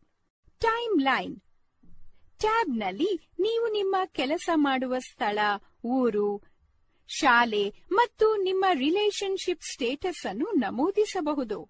Timeline bar. ನಿಮ್ಮ ಸ್ನೇಹಿತರ ಹೆಸರನ್ನು ಟೈಪಿಸಿ, ಹುಡುಕಿ ಅವರ ಪ್ರೊಫೈಲ್ ಅನ್ನು ನೋಡಲು ಅನುಕೂಲವಾಗುವಂತೆ ಸರ್ಚ್ ಬಾಕ್ಸ್ ಅನ್ನು ಹೊಂದಿದೆ. ಯಾರೊಟ್ಟಿಗಾದರೂ ಸ್ನೇಹಿತರಾಗಲು ವಿನಂತಿಯನ್ನು ಕಳುಹಿಸಲು ಆಡ್ ಫ್ರೆಂಡ್ ಬಟನ್ ಅನ್ನು ಕ್ಲಿಕ್ ಮಾಡಿ. ಫೇಸ್ಬುಕ್ ಅನ್ನು ಉಪಯೋಗಿಸಿದ ನಂತರ ಸೈನ್ ಔಟ್ ಮಾಡಲು ಸೆಟ್ಟಿಂಗ್ ಐಕಾನ್ನಲ್ಲಿರುವ ಲಾಗ್ಔಟ್ ಬಟನ್ ಅನ್ನು ಕ್ಲಿಕ್ ಮಾಡಿ. ಈಗ ನಿಮ್ಮ ಬಳಿ ಫೇಸ್ಬುಕ್ ಖಾತೆ ಇದೆ. ಅದನ್ನು ಮುಂದಿನ ಸಲ ನೀವು ಉಪಯೋಗಿಸಬೇಕಾದರೆ ಇಮೇಲ್ ಐಡಿ ಅಥವಾ ಫೋನ್ ನಂಬರ್ನ ಜೊತೆಗೆ ಪಾಸ್ವರ್ಡ್ ಅನ್ನು ಟೈಪ್ ಮಾಡುವ ಮೂಲಕ ಸೈನ್ ಇನ್ ಆಗಿ. ಫೇಸ್ಬುಕ್ ಖಾತೆಯನ್ನು ಹೊಂದಿರುವುದರಿಂದ ನೀವು ನಿಮ್ಮ ಸ್ನೇಹಿತರಿಗೆ ನೋಡಲು ಸಾಧ್ಯವಾಗುವಂತೆ ಸ್ಟೇಟಸ್ ಮೆಸೇಜ್ಗಳನ್ನು ಪೋಸ್ಟ್ ಮಾಡಬಹುದು. ಸ್ಟೇಟಸ್ ಮೆಸೇಜ್ ಅನ್ನು ಪೋಸ್ಟ್ ಮಾಡಲು ಅಪ್ಡೇಟ್ ಸ್ಟೇಟಸ್ ಕೆಳಗಿರುವ ಖಾಲಿ ಜಾಗದಲ್ಲಿ ಕ್ಲಿಕ್ ಮಾಡಿ. ನಂತರ ಸ್ಟೇಟಸ್ ಮೆಸೇಜ್ ಅನ್ನು ಟೈಪ್ ಮಾಡಿ, ನಂತರ ಪೋಸ್ಟ್ ಮೇಲೆ ಕ್ಲಿಕ್ ಮಾಡಿ. ನಿಮ್ಮ ಕಾಮೆಂಟ್ ಅನ್ನು ಟೈಪ್ ಮಾಡಿ, ನಂತರ ಎಂಟರ್ ಅನ್ನು ಪ್ರೆಸ್ ಮಾಡಿ. Facebook bar. ಸ್ನೇಹ ವಿನಂತಿ, ಸಂದೇಶಗಳು ಮತ್ತು ನಿಮ್ಮ ಸ್ನೇಹಿತರ ಇತ್ತೀಚಿನ ಚಟುವಟಿಕೆಗಳ ಬಗ್ಗೆ ತಿಳಿಸುತ್ತದೆ. ಕೊಟ್ಟಿರುವ ಚಿತ್ರ ಅದನ್ನು ಪ್ರಮುಖವೆಂದು ಗುರುತಿಸುತ್ತದೆ. ಫೇಸ್ಬುಕ್ ಹಲವು ಉದ್ದಿಮೆಗಳು ತಮ್ಮ ಗ್ರಾಹಕರಿಗೆ ಸಂವಹನ ಮತ್ತು ತಮ್ಮ ಕಂಪನಿ ಪ್ರಚಾರದ ರೀತಿಯನ್ನು ಬದಲಾಯಿಸುತ್ತಿದೆ. ದೊಡ್ಡ ಬ್ರ್ಯಾಂಡ್ ಮತ್ತು ಸಣ್ಣ ಅಂಗಡಿಗಳು ಯಶಸ್ವಿಯಾಗಿ ತಮ್ಮ ಸಮುದಾಯಗಳಲ್ಲಿ ಹೊಸ ಗ್ರಾಹಕರನ್ನು ತಲುಪಲು ಫೇಸ್ಬುಕ್ ಅನ್ನು ಬಳಸುತ್ತಿದ್ದಾರೆ. ಫೇಸ್ಬುಕ್ ಬಳಸಿಕೊಂಡು ವ್ಯಾಪಾರವನ್ನು ಉತ್ತೇಜಿಸಲು ಅಥವಾ ಪ್ರಮೋಟ್ ಮಾಡುವ ವಿಧಾನದಲ್ಲಿ ಬಿಸಿನೆಸ್ನ ಹೆಸರಿನಲ್ಲಿ ಪುಟ ಅಥವಾ ಪೇಜ್ ರಚಿಸುವುದು ಒಂದಾಗಿದೆ. ಸಂಪನ್ಮೂಲವು ಶುಲ್ಕರಹಿತವಾಗಿರುವುದರಿಂದ ಈ ಸೈಟ್ ಅನ್ನು ಸುಲಭವಾಗಿ ಮತ್ತು ಹೆಚ್ಚಿನ ಸಾಮರ್ಥ್ಯದಲ್ಲಿ ಉಪಯೋಗಿಸಿಕೊಳ್ಳಬಹುದು. ನಿಮ್ಮ ಬಿಸಿನೆಸ್ಗಾಗಿ ಪ್ರೊಫೈಲ್ ಅನ್ನು ರಚಿಸಲು ಹೋಮ್ ಪೇಜ್ನ ಕೆಳಗಿನಲ್ಲಿರುವ ಕ್ರಿಯೇಟ್ ಅ ಪೇಜ್ ಮೇಲೆ ಕ್ಲಿಕ್ ಮಾಡಿ. ಲೋಕಲ್ ಬಿಸ್ನೆಸ್ ಅಥವಾ ಪ್ಲೇಸ್ ಅನ್ನು ಕ್ಲಿಕ್ ಮಾಡಿ. ಡ್ರಾಪ್ ಡೌನ್ ಬಾಕ್ಸ್ನಲ್ಲಿ ಇರುವ ಆಯ್ಕೆಗಳಲ್ಲಿ ಒಂದು ವರ್ಗವನ್ನು, ಅಂದರೆ ಕ್ಯಾಟಗರಿಯನ್ನು ಆಯ್ಕೆ ಮಾಡಿ.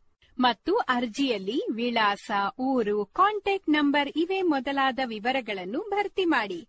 ನಂತರ ಗೆಟ್ ಸ್ಟಾರ್ಟೆಡ್ ಬಟನ್ನ ಮೇಲೆ ಕ್ಲಿಕ್ ಮಾಡಿ. ನಂತರದ ವಿಂಡೋನಲ್ಲಿ ನಿಮ್ಮ ಬಿಸ್ನೆಸ್ಗೆ ಸಂಬಂಧಿಸಿದ ಎಲ್ಲ ವಿವರಗಳನ್ನು ಭರ್ತಿ ಮಾಡಬೇಕು. ನೀವು ಪ್ರವರ್ತನೆ ವ್ಯಾಪಾರದ ಬಗ್ಗೆ ಮೂಲ ಮಾಹಿತಿಯನ್ನು ನೀಡಬೇಕು. ನಿಮ್ಮ ಪುಟಕ್ಕೆ ಪ್ರೊಫೈಲ್ ಪಿಕ್ಚರ್ ಅನ್ನು ಹಾಕಲು ಈಗಾಗಲೇ ಕಂಪ್ಯೂಟರ್ನಲ್ಲಿ ಲಭ್ಯವಿರುವ ಚಿತ್ರವನ್ನು ಅಪ್ಲೋಡ್ ಮಾಡಬಹುದು ಅಥವಾ ನಿಮ್ಮ ವೆಬ್ಸೈಟ್ನಿಂದ ಆಮದು ಮಾಡಿಕೊಳ್ಳಬಹುದು. ನಿಮ್ಮ ಮೆಚ್ಚಿನವುಗಳ ಪಟ್ಟಿಗೆ, ಅಂದರೆ ಫೇವರೇಟ್ಸ್ ಲಿಸ್ಟ್ ಪುಟವನ್ನು ಸೇರಿಸಬಹುದು. ನೀವು ನಿಮ್ಮ ಬಿಸ್ನೆಸ್ ಪೇಜ್ಗೆ ಪೇಮೆಂಟ್ ಮೋಡ್ ಅನ್ನು ಸೇರಿಸುವ ಮೂಲಕ ಹೆಚ್ಚಿನ ಜನರನ್ನು ತಲುಪಬಹುದು. ನೀವು ಯಾವುದೇ ಪೇಮೆಂಟ್ ಮೋಡ್ ಅನ್ನು ಸೇರಿಸಲು ಇಷ್ಟವಿಲ್ಲದಿದ್ದರೆ ಆ ಹಂತವನ್ನು ನಿರ್ಲಕ್ಷಿಸಬಹುದು. ನಿಮ್ಮ ಬಿಸಿನೆಸ್ ಪೇಜ್ ರಚಿಸಲ್ಪಟ್ಟಿದೆ ಮತ್ತು ಅದು ಈ ರೀತಿ ಕಾಣುತ್ತದೆ. ಪೇಮೆಂಟ್ ಮೋಡ್ ಅನ್ನು ಸೇರಿಸಬೇಕಾದರೆ ಅದು ವಿಂಡೋದಲ್ಲಿ ತೋರಿಸಲ್ಪಡುತ್ತದೆ. ನಂತರ ನಿಮ್ಮ ದೇಶವನ್ನು ಭಾರತ ಎಂದು ಆಯ್ಕೆ ಮಾಡಿ. ನಂತರ ಕಂಟಿನ್ಯೂ ಬಟನ್ನ ಮೇಲೆ ಕ್ಲಿಕ್ ಮಾಡಿ. ಆಗ ನಿಮ್ಮ ಕಾರ್ಡ್ ವಿವರಗಳನ್ನು ಕೇಳಿ ಒಂದು ವಿಂಡೋ ಪ್ರದರ್ಶಿತವಾಗುತ್ತದೆ. ನಂತರ ನಿಮ್ಮ ಕಾರ್ಡ್ ಡೀಟೇಲ್ಸ್ ಅನ್ನು ಭರ್ತಿ ಮಾಡಿ, ನಂತರ ಸಬ್ಮಿಟ್ ಅನ್ನು ಕ್ಲಿಕ್ ಮಾಡಿ. ಫೇಸ್ಬುಕ್ ಭವಿಷ್ಯದ ಖರೀದಿಗಳಿಗೆ ನಿಮ್ಮ ಪಾವತಿ ಮಾಹಿತಿಯನ್ನು ಉಳಿಸುತ್ತದೆ. ನೀವು ಅಕೌಂಟ್ ಸೆಟ್ಟಿಂಗ್ಸ್ನಲ್ಲಿ ಈ ವಿವರಗಳನ್ನು ಯಾವಾಗ ಬೇಕಾದರೂ ತೆಗೆದುಹಾಕಬಹುದು ಅಥವಾ ಬದಲಾಯಿಸಬಹುದು. ನಿಮ್ಮ ಸ್ನೇಹಿತರಿಗೆ ನಿಮ್ಮ ಪೇಜ್ ಅನ್ನು ಸೂಚಿಸುವ ಮೂಲಕ ಅಥವಾ ಸಜೆಸ್ಟ್ ಮಾಡುವ ಮೂಲಕ ನಿಮ್ಮ ಪೇಜ್ ಅನ್ನು ಜನಪ್ರಿಯ ಮಾಡಬಹುದು.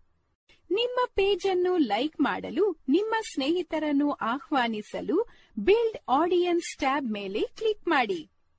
ನಂತರ ಸ್ನೇಹಿತರನ್ನು ಆಹ್ವಾನಿಸಿ ಅಥವಾ ಇನ್ವೈಟ್ ಫ್ರೆಂಡ್ಸ್ ಮೇಲೆ ಕ್ಲಿಕ್ ಮಾಡಿ. ಆಗ ನಿಮ್ಮ ಸ್ನೇಹಿತರ ಹೆಸರುಗಳಿರುವ ಒಂದು ಪಟ್ಟಿ ತೆರೆದುಕೊಳ್ಳುತ್ತದೆ.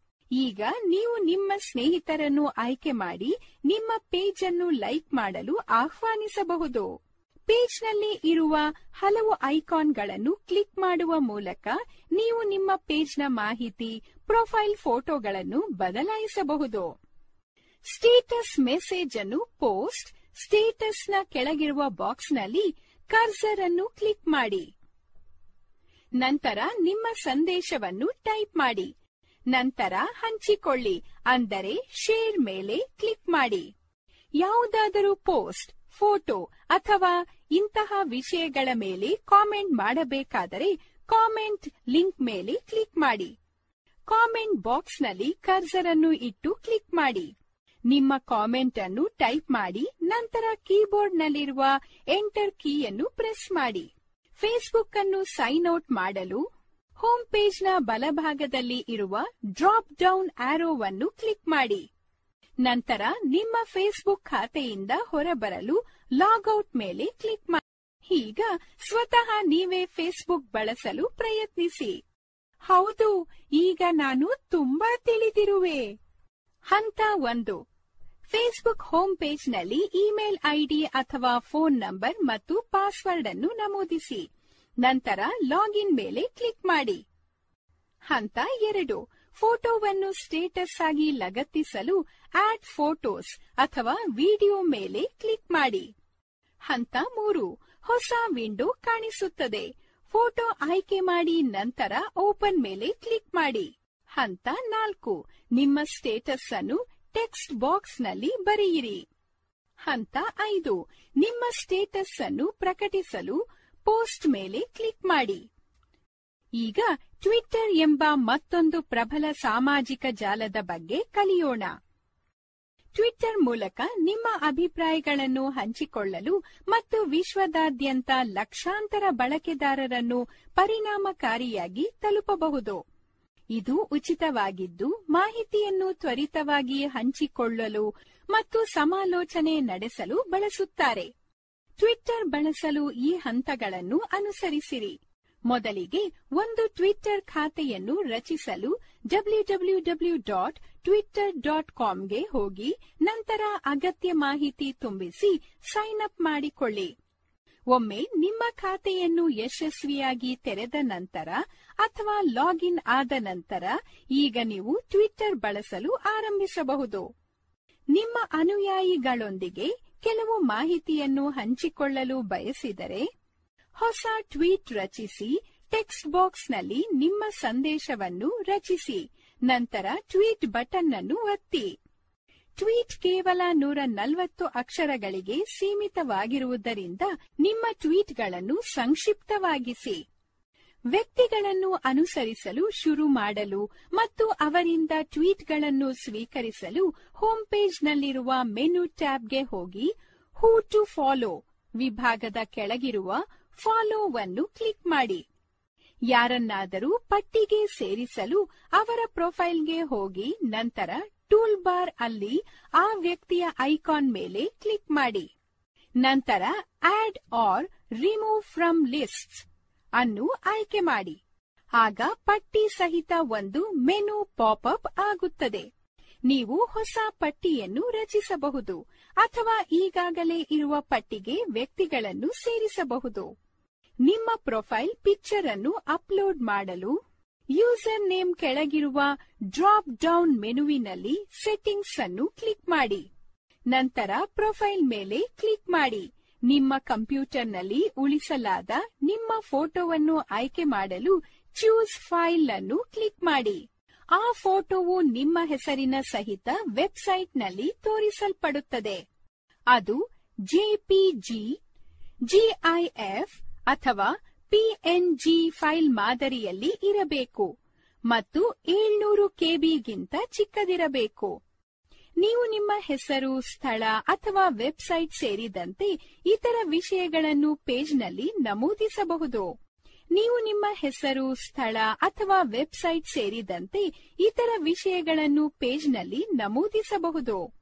ನಿಮ್ಮ ಟ್ವೀಟ್ಗಳನ್ನು ಫೇಸ್ಬುಕ್ನಲ್ಲಿ ಹಾಕಲು ಇಚ್ಛಿಸಿದರೆ ಪ್ರೊಫೈಲ್ ಪೇಜ್ನ ಕೆಳಗಿರುವ post your tweets to Facebook ಅನ್ನು ಕ್ಲಿಕ್ ಮಾಡಿ. ಟ್ವೀಟ್ ಮಾಧ್ಯಮ ಮತ್ತು ಗೌಪ್ಯತೆ ಸೆಟ್ಟಿಂಗ್ಸ್ಗಳನ್ನು ಪರಿಶೀಲಿಸಿ.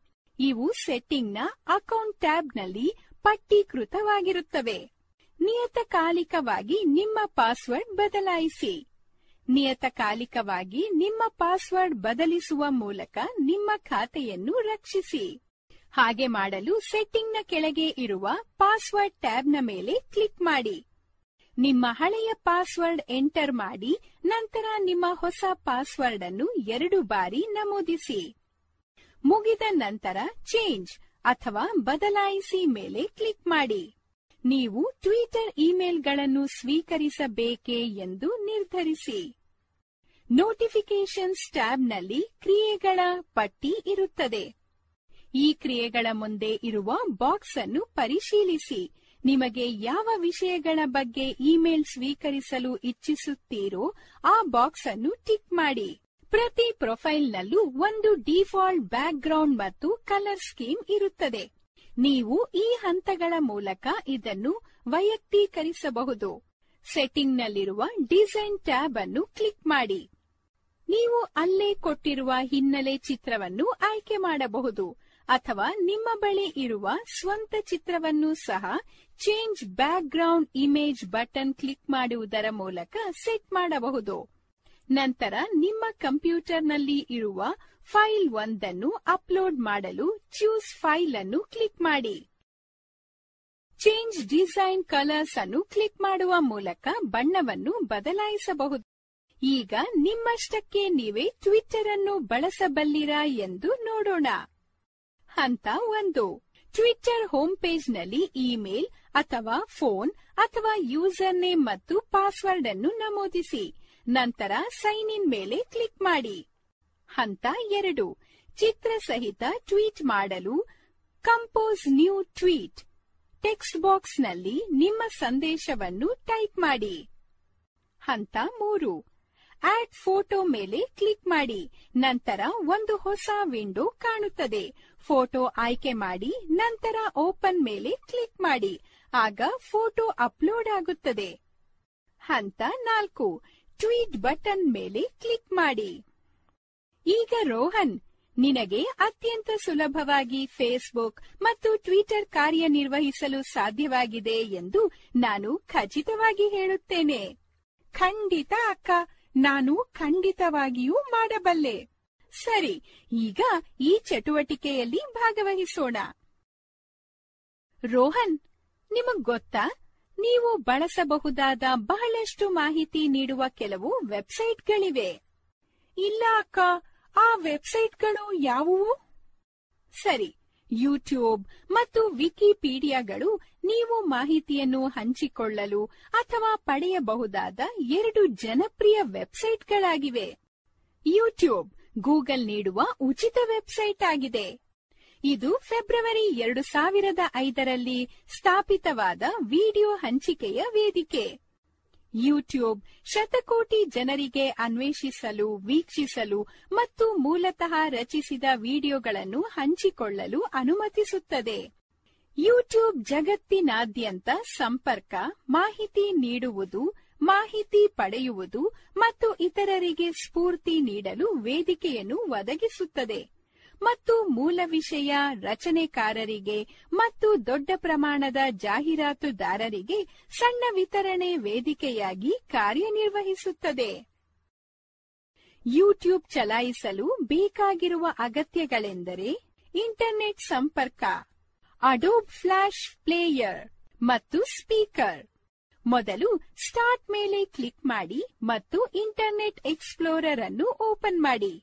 ನಂತರ ಅಡ್ರೆಸ್ ಬಾರ್ನಲ್ಲಿ W W W dot YouTube dot com ಎಂದು ಟೈಪ್ ಮಾಡಿ, ನಂತರ ಗೋ ಮೇಲೆ ಕ್ಲಿಕ್ ಮಾಡಿ. ನಂತರ ಎಂಟರ್ ಒತ್ತಿ. ಈಗ ಯೂಟ್ಯೂಬ್ ವೆಬ್ ಪೇಜ್ ಲೋಡ್ ಆಗುತ್ತದೆ. ನೀವು ಪೇಜ್ನ ಮೇಲ್ಭಾಗದಲ್ಲಿ ಸರ್ಚ್ ಬಾರ್ ನೋಡಬಹುದು. ಈಗ ಅಲ್ಲಿ ನೀವು ಹುಡುಕಬೇಕಿರುವ ಸರ್ಚ್ ಐಟಮ್ಸ್ ಅಥವಾ ಸರ್ಚ್ ಕೀವರ್ಡ್ಸ್ ನಂತರ ಸರ್ಚ್ ಬಟನ್ ಅನ್ನು ಒತ್ತಿ. ಅಥವಾ ಎಂಟರ್ ಒತ್ತಿ. ಆ ಸರ್ಚ್ಗೆ ಸಂಬಂಧಿಸಿದ ವಿಡಿಯೋ ಲಿಂಕ್ಗಳು ಸ್ಕ್ರೀನ್ ಮೇಲೆ ಪ್ರದರ್ಶಿತವಾಗುತ್ತವೆ. ನಂತರ ಸಂಬಂಧಿಸಿದ ವಿಡಿಯೋ ವೀಕ್ಷಿಸಲು ಲಿಂಕ್ ಮೇಲೆ ಕ್ಲಿಕ್ ಮಾಡಿ. ನೋಡಿ, ಆಯ್ಕೆ ಮಾಡಿದ ವಿಡಿಯೋ ವಿಡಿಯೋ ಪ್ಲೇಯರ್ನಲ್ಲಿ ಪ್ಲೇ ಆಗುತ್ತದೆ.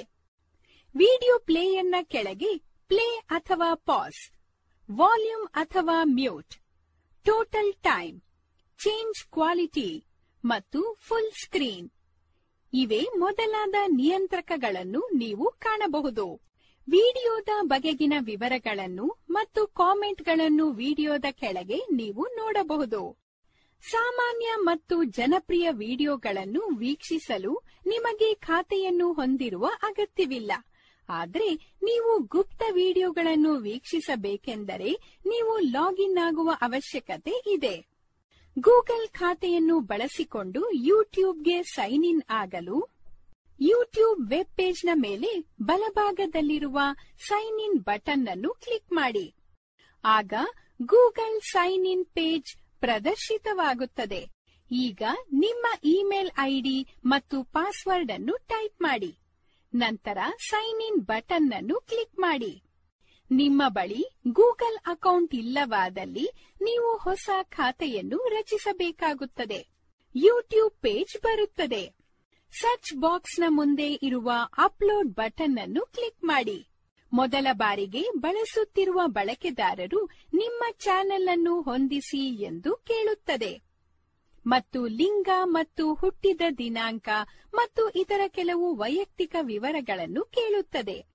ಈ ವಿವರಗಳನ್ನೆಲ್ಲ ಭರ್ತಿ ಮಾಡಿ ನಂತರ ಕಂಟಿನ್ಯೂ ಟು ಅಪ್ಲೋಡ್ ಅನ್ನು ಕ್ಲಿಕ್ ಮಾಡಿ. ನಂತರ select files to upload link ಮೇಲೆ ಕ್ಲಿಕ್ ಮಾಡಿ. ಈಗ ಯೂಟ್ಯೂಬ್ಗೆ ಅಪ್ಲೋಡ್ ಮಾಡಬಯಸುವ ವಿಡಿಯೋವನ್ನು ಕಂಪ್ಯೂಟರ್ನಿಂದ ಆಯ್ಕೆ ಮಾಡಿ. ಓಪನ್ ಬಟನ್ ಅನ್ನು ಕ್ಲಿಕ್ ಮಾಡಿ. ನೋಡಿ ಅಪ್ಲೋಡ್ ಪ್ರಾರಂಭವಾಗ್ತಾ ಇದೆ ಮತ್ತು ಪ್ರಗತಿ ವೆಬ್ ಪುಟದಲ್ಲಿ ಪ್ರದರ್ಶಿಸಲಾಗುತ್ತದೆ. ಅಪ್ಲೋಡ್ ಮುಗಿದ ನಂತರ ಅಪ್ಲೋಡ್ ಕಂಪ್ಲೀಟ್ ಎಂಬ ಸಂದೇಶವು ವಿಂಡೋ ಮೇಲೆ ತೋರುತ್ತದೆ ಮತ್ತು ವಿಡಿಯೋದ ಲಿಂಕ್ ಕೂಡ ತೋರಿಸಲ್ಪಡುತ್ತದೆ. ನೀವು ವಿಡಿಯೋವನ್ನು ಯೂಟ್ಯೂಬ್ನಲ್ಲಿ ನಂತರ ವೀಕ್ಷಿಸಬಹುದು. ನೀವು ವಿಡಿಯೋಗೆ ಶೀರ್ಷಿಕೆ, ಅಂದರೆ ಟೈಟಲ್ ಮತ್ತು ವಿವರಣೆಯನ್ನು ಸೇರಿಸಿ ಮತ್ತು ಗೌಪ್ಯತೆಯನ್ನು ಪೇಜ್ನಲ್ಲಿ ಹೊಂದಿಸಬಹುದು. ಒಮ್ಮೆ ವಿಡಿಯೋ ಅಪ್ಲೋಡ್ ಮಾಡಿದ ಮೇಲೆ ವಿಡಿಯೋ ಮ್ಯಾನೇಜರ್ ಅನ್ನು ಬಳಸಿಕೊಂಡು ನೀವು ಗೌಪ್ಯತೆ ಸೆಟ್ಟಿಂಗ್ ಅನ್ನು ಬದಲಾವಣೆ ಅಥವಾ ವಿಡಿಯೋ ಡಿಲೀಟ್ ಮಾಡಬಹುದು.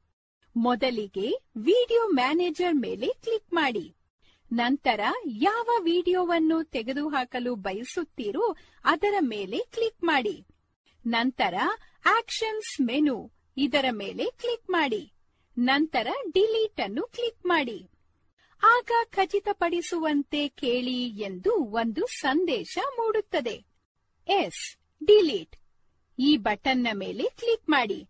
ಆಗ ನಿಮ್ಮ ವಿಡಿಯೋ ತೆಗೆದುಹಾಕಲ್ಪಡುತ್ತದೆ. ಈಗ ನೀವು ಯೂಟ್ಯೂಬ್ ಅನ್ನು ಬಳಸಬಲ್ಲಿರ ನೋಡೋಣ. ಖಂಡಿತ! ಹಂತ ಒಂದು. ಯೂಟ್ಯೂಬ್ ಹೋಮ್ ಪೇಜ್ನಲ್ಲಿ ಸೈನ್ ಇನ್ ಮೇಲೆ ಕ್ಲಿಕ್ ಮಾಡಿ. ಹಂತ ಎರಡು. ಗೂಗಲ್ ಖಾತೆಯ ಪೇಜ್ ಮೂಡುತ್ತದೆ. ಆಗ ನಿಮ್ಮ ಜಿಮೇಲ್ ಐಡಿ ಮತ್ತು ಪಾಸ್ವರ್ಡ್ ಅನ್ನು ನಮೂದಿಸಿ. ಸೈನ್ ಇನ್ ಮೇಲೆ ಕ್ಲಿಕ್ ಮಾಡಿ. ಹಂತ ಮೂರು. ವಿಡಿಯೋ ಅಪ್ಲೋಡ್ ಮಾಡಲು ಅಪ್ಲೋಡ್ ಬಟನ್ ಮೇಲೆ ಕ್ಲಿಕ್ ಮಾಡಿ. ಹಂತ ನಾಲ್ಕು. ನಂತರ ಸೆಲೆಕ್ಟ್ ಫೈಲ್ಸ್ ಮೇಲೆ ಕ್ಲಿಕ್ ಮಾಡಿ. ಹಂತ ಐದು. ನೀವು ಅಪ್ಲೋಡ್ ಮಾಡಬಯಸುವ ವಿಡಿಯೋ ಆಯ್ಕೆ ಮಾಡಿ. ನಂತರ ಓಪನ್ ಬಟನ್ ಮೇಲೆ ಕ್ಲಿಕ್ ಮಾಡಿ. ಈಗ ಅಪ್ಲೋಡ್ ಆರಂಭವಾಗುತ್ತದೆ. ಹಂತ. ಬನ್ನಿ, ಈಗ ವಿಕಿಪೀಡಿಯಾದ ಬಗ್ಗೆ ತಿಳಿದುಕೊಳ್ಳೋಣ. ವಿಕಿಪೀಡಿಯಾ ವೆಬ್ಸೈಟ್ನಲ್ಲಿ ಇರಿಸಲಾದ ಒಂದು ವಿಷಯವನ್ನು ಯಾರಾದರೂ ಓದಲು ಮತ್ತು ಬದಲಾಯಿಸಲು ಅನುಮತಿಸುವ ವೆಬ್ ಅಪ್ಲಿಕೇಶನ್ ಆಗಿದೆ. ವಿಕಿಪೀಡಿಯಾವನ್ನು ಬಳಸುವ ಹಂತಗಳು ಈ ಕೆಳಗಿನಂತಿವೆ. ಮೊದಲು ವಿಕಿಪೀಡಿಯಾದ ವೆಬ್ಸೈಟ್ಗೆ ಹೋಗಿ. ಅದು W W W dot Wikipedia dot O R G ನಂತರ ಟೆಕ್ಸ್ಟ್ ಅನ್ನು ಸರ್ಚ್ ಬಾರ್ನಲ್ಲಿ ಟೈಪ್ ಮಾಡಿ. ಲ್ಯಾಂಗ್ವೇಜ್ ಅನ್ನು ಆಯ್ಕೆ ಮಾಡಿ, ನಂತರ ಆರೋ ಬಟನ್ ಅನ್ನು ಪ್ರೆಸ್ ಮಾಡಿ. ಮುಂದಿನ ಪುಟ ನಿಮಗೆ ಅಗತ್ಯವಿರುವ ಮಾಹಿತಿಗಳನ್ನು ಪ್ರದರ್ಶಿಸುತ್ತದೆ. ಪೇಜ್ನ ಮೇಲ್ಭಾಗವು ಪೇಜ್ನ ಕಂಟೆಂಟ್ ಮತ್ತು ಅದರ ಪ್ರತ್ಯೇಕ ಭಾಗದ ಹೈಪರ್ಲಿಂಕ್ ಅನ್ನು ಹೊಂದಿರುತ್ತದೆ. ನೀವು ನಿರ್ದಿಷ್ಟ ಭಾಗದ ಮೇಲೆ ಕ್ಲಿಕ್ ಮಾಡುವ ಮೂಲಕ ನೇರವಾಗಿ ಆ ಭಾಗಕ್ಕೆ ಹೋಗಬಹುದು. ಸಾಮಾನ್ಯವಾಗಿ ಎಲ್ಲಾ ಪೇಜ್ಗಳು ಎರಡನೇ ಭಾಗದ ಸಂಬಂಧಿತ ಲಿಂಕ್ ಇರುವ ಸಿ ಆಲ್ಸೋವನ್ನು ಹೊಂದಿರುತ್ತದೆ. ಹಾಗೆ ರೆಫರೆನ್ಸಸ್ ಸಂಬಂಧಪಟ್ಟ ಲೇಖನಗಳಿರುವ ಅನೇಕ ಲಿಂಕ್ಗಳನ್ನು ಹೊಂದಿರುತ್ತದೆ. ವಿಕಿಪೀಡಿಯಾದಲ್ಲಿರುವ ಲೇಖನಗಳನ್ನು ಎಡಿಟ್ ಮಾಡಲು ಈ ಹಂತಗಳನ್ನು ಅನುಸರಿಸಬೇಕು. ಮೊದಲು ನೀವು ಈಗಾಗಲೇ ಬಳಸುತ್ತಿರುವ ಬಳಕೆದಾರರಾಗಿದ್ದರೆ ಸೈನ್ ಇನ್ ಆಗಿ ಅಥವಾ ಹೊಸ ಖಾತೆಯನ್ನು ರಚಿಸಿ. ಯಶಸ್ವಿಯಾಗಿ ಸೈನ್ ಇನ್ ಆದ ನಂತರ ಎಡಿಟ್ ಲಿಂಕ್ ಮೇಲೆ ಕ್ಲಿಕ್ ಮಾಡಿ. ಆಗ ಅದು ಲೇಖನವನ್ನು ಹೊಂದಿರುವ ಎಡಿಟಿಂಗ್ ವಿಂಡೋವನ್ನು ತೋರಿಸುತ್ತದೆ. ಏನನ್ನಾದರೂ ಟೈಪ್ ಮಾಡಿ ಅಥವಾ ನಿಮಗೆ ಕಾಣಿಸುವ ಪಠ್ಯವನ್ನು ಬದಲಾವಣೆ ಮಾಡಿ. ಪೇಜ್ನ ಮೇಲೆ ಎಡಿಟ್ ಆಯ್ಕೆ ಇಲ್ಲವೆಂದರೆ ಪೇಜ್ ಎಡಿಟ್ ಮಾಡದ ಹಾಗೆ ರಕ್ಷಿಸಲಾಗಿದೆ ಎಂದರ್ಥ. ಬಹುಶಃ ದುರುದ್ದೇಶಪೂರಿತ ಬದಲಾವಣೆಗಳನ್ನು ತಪ್ಪಿಸಲು ಹೀಗೆ ಮಾಡಲಾಗುತ್ತದೆ.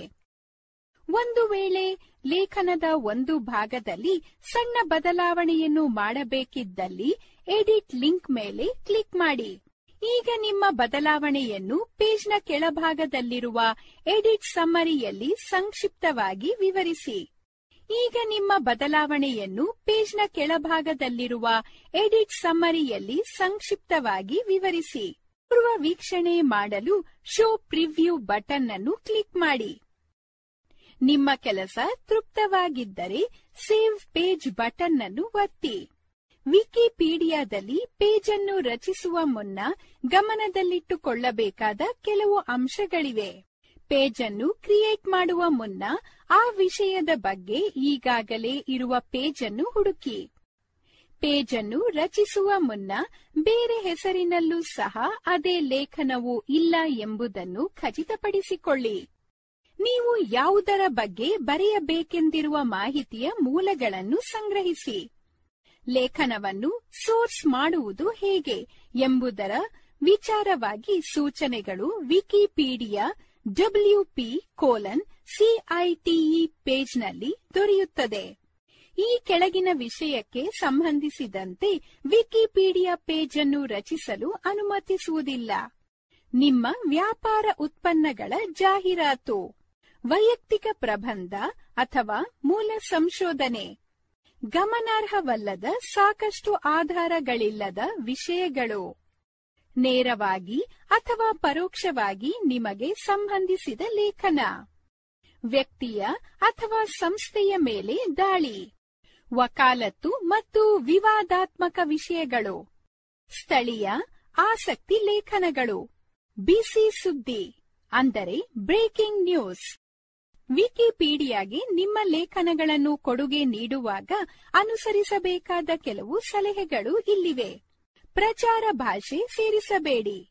ನೀವು ಕಂಪ್ಲೇಂಟ್ ಸೇರಿಸುವ ಮತ್ತು ಎಡಿಟ್ ಮಾಡುವ ತಟಸ್ಥ ಉದ್ದೇಶವನ್ನು ನಿರ್ವಹಿಸಿ.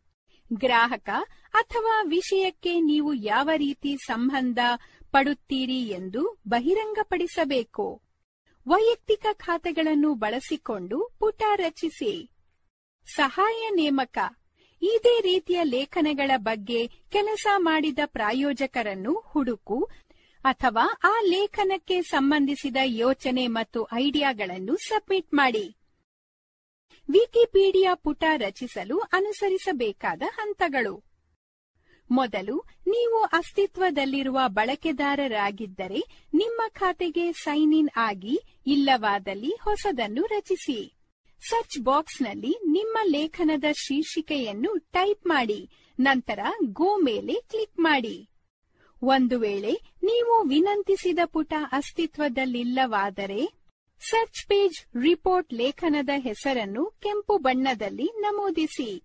You may create the page ಎಂದು ತೋರಿಸುತ್ತದೆ. ನಂತರ ಕೆಂಪು ಲೇಖನದ ಮೇಲೆ ಕ್ಲಿಕ್ ಮಾಡಿ. ನೀವು ನಿಮ್ಮ ಲೇಖನವನ್ನು ರಚಿಸಬಹುದು. ಅದು ಬ್ಲಾಂಕ್ ಎಡಿಟಿಂಗ್ ವಿಂಡೋವನ್ನು ತೆರೆಯುತ್ತದೆ. ಆ ಪೇಜ್ನ ಮೇಲೆ ಕೊಟ್ಟಿರುವ ಸೂಚನೆಗಳನ್ನು ಓದಿ, ನಂತರ ನಿಮ್ಮ ಕಂಟೆಂಟ್ ಅನ್ನು ಬರೆಯಲು ಪ್ರಾರಂಭಿಸಿ. ಪೇಜ್ನ ಕೆಳಗಿರುವ ಎಡಿಟ್ ಸಮ್ಮರಿಯಲ್ಲಿ ನಿಮ್ಮ ಬದಲಾವಣೆಗಳನ್ನು ಸಂಕ್ಷಿಪ್ತವಾಗಿ ವಿವರಿಸಿ. ಬದಲಾವಣೆಗಳನ್ನು ಪೂರ್ವ ವೀಕ್ಷಿಸಲು ಶೋ ಪ್ರಿವ್ಯೂ ಬಟನ್ ಅನ್ನು ಕ್ಲಿಕ್ ಮಾಡಿ. ನೀವು ಬದಲಾವಣೆಗಳನ್ನು ತಾಳೆ ನೋಡಬೇಕಿದ್ದಲ್ಲಿ ಶೋ ಚೇಂಜಸ್ ಬಟನ್ ಅನ್ನು ಕ್ಲಿಕ್ ಮಾಡಿ. ನೀವು ಮಾಡಿದ ಬದಲಾವಣೆಗಳು ಸರಿಯಿವೆ ಎನಿಸಿದರೆ ಈಗ ನೀವು ವಿಕಿಪೀಡಿಯಾ ಉಪಯೋಗಿಸುವುದನ್ನು ನೋಡೋಣ. ಸರಿ. ಹಂತ ಒಂದು. ವಿಕಿಪೀಡಿಯಾ ಹೋಮ್ ಪೇಜ್ನಲ್ಲಿ ನಿಮ್ಮ ಆದ್ಯತೆಯ ಭಾಷೆಯನ್ನು ಆಯ್ಕೆ ಮಾಡಿ. ಹಂತ ಎರಡು. ಲಾಗಿನ್ ಮೇಲೆ ಕ್ಲಿಕ್ ಮಾಡಿದ ನಂತರ ಯೂಸರ್ ನೇಮ್ ಮತ್ತು ಪಾಸ್ವರ್ಡ್ ಅನ್ನು ನಮೂದಿಸಿ. ಹಂತ ಮೂರು. ಅದೇ ಹೆಸರಿನ ಲೇಖನ ಈಗಾಗಲೇ ಇಲ್ಲ ಎಂದು ಖಾತರಿಪಡಿಸಿಕೊಳ್ಳಲು ಸರ್ಚ್ ಬಾಕ್ಸ್ನಲ್ಲಿ ನಿಮ್ಮ ಲೇಖನದ ಶೀರ್ಷಿಕೆಯನ್ನು ಟೈಪ್ ಮಾಡಿ. ಹಂತ ನಾಲ್ಕು. ಈ ಪೇಜ್ ಇಲ್ಲದಿದ್ದರೆ ಕೆಂಪು ಬಣ್ಣದಲ್ಲಿ ಹೈಲೈಟ್ ಆಗಿರುವ ಲೇಖನದ ಹೆಸರಿನ ಮೇಲೆ ಕ್ಲಿಕ್ ಮಾಡಿ. ನಿಮ್ಮ ಲೇಖನ ಅಥವಾ ಆರ್ಟಿಕಲ್ ರಚಿಸಲು ಆರಂಭಿಸಿ. ಹಂತ ಐದು. ಅದು ಒಂದು ಖಾಲಿ ಎಡಿಟಿಂಗ್ ವಿಂಡೋವನ್ನು ತೋರಿಸುತ್ತದೆ. ಈಗ ನಿಮ್ಮ ಕಂಟೆಂಟ್ ಅನ್ನು ಬರೆಯಲು ಆರಂಭಿಸಿ. ಹಂತ ಆರು.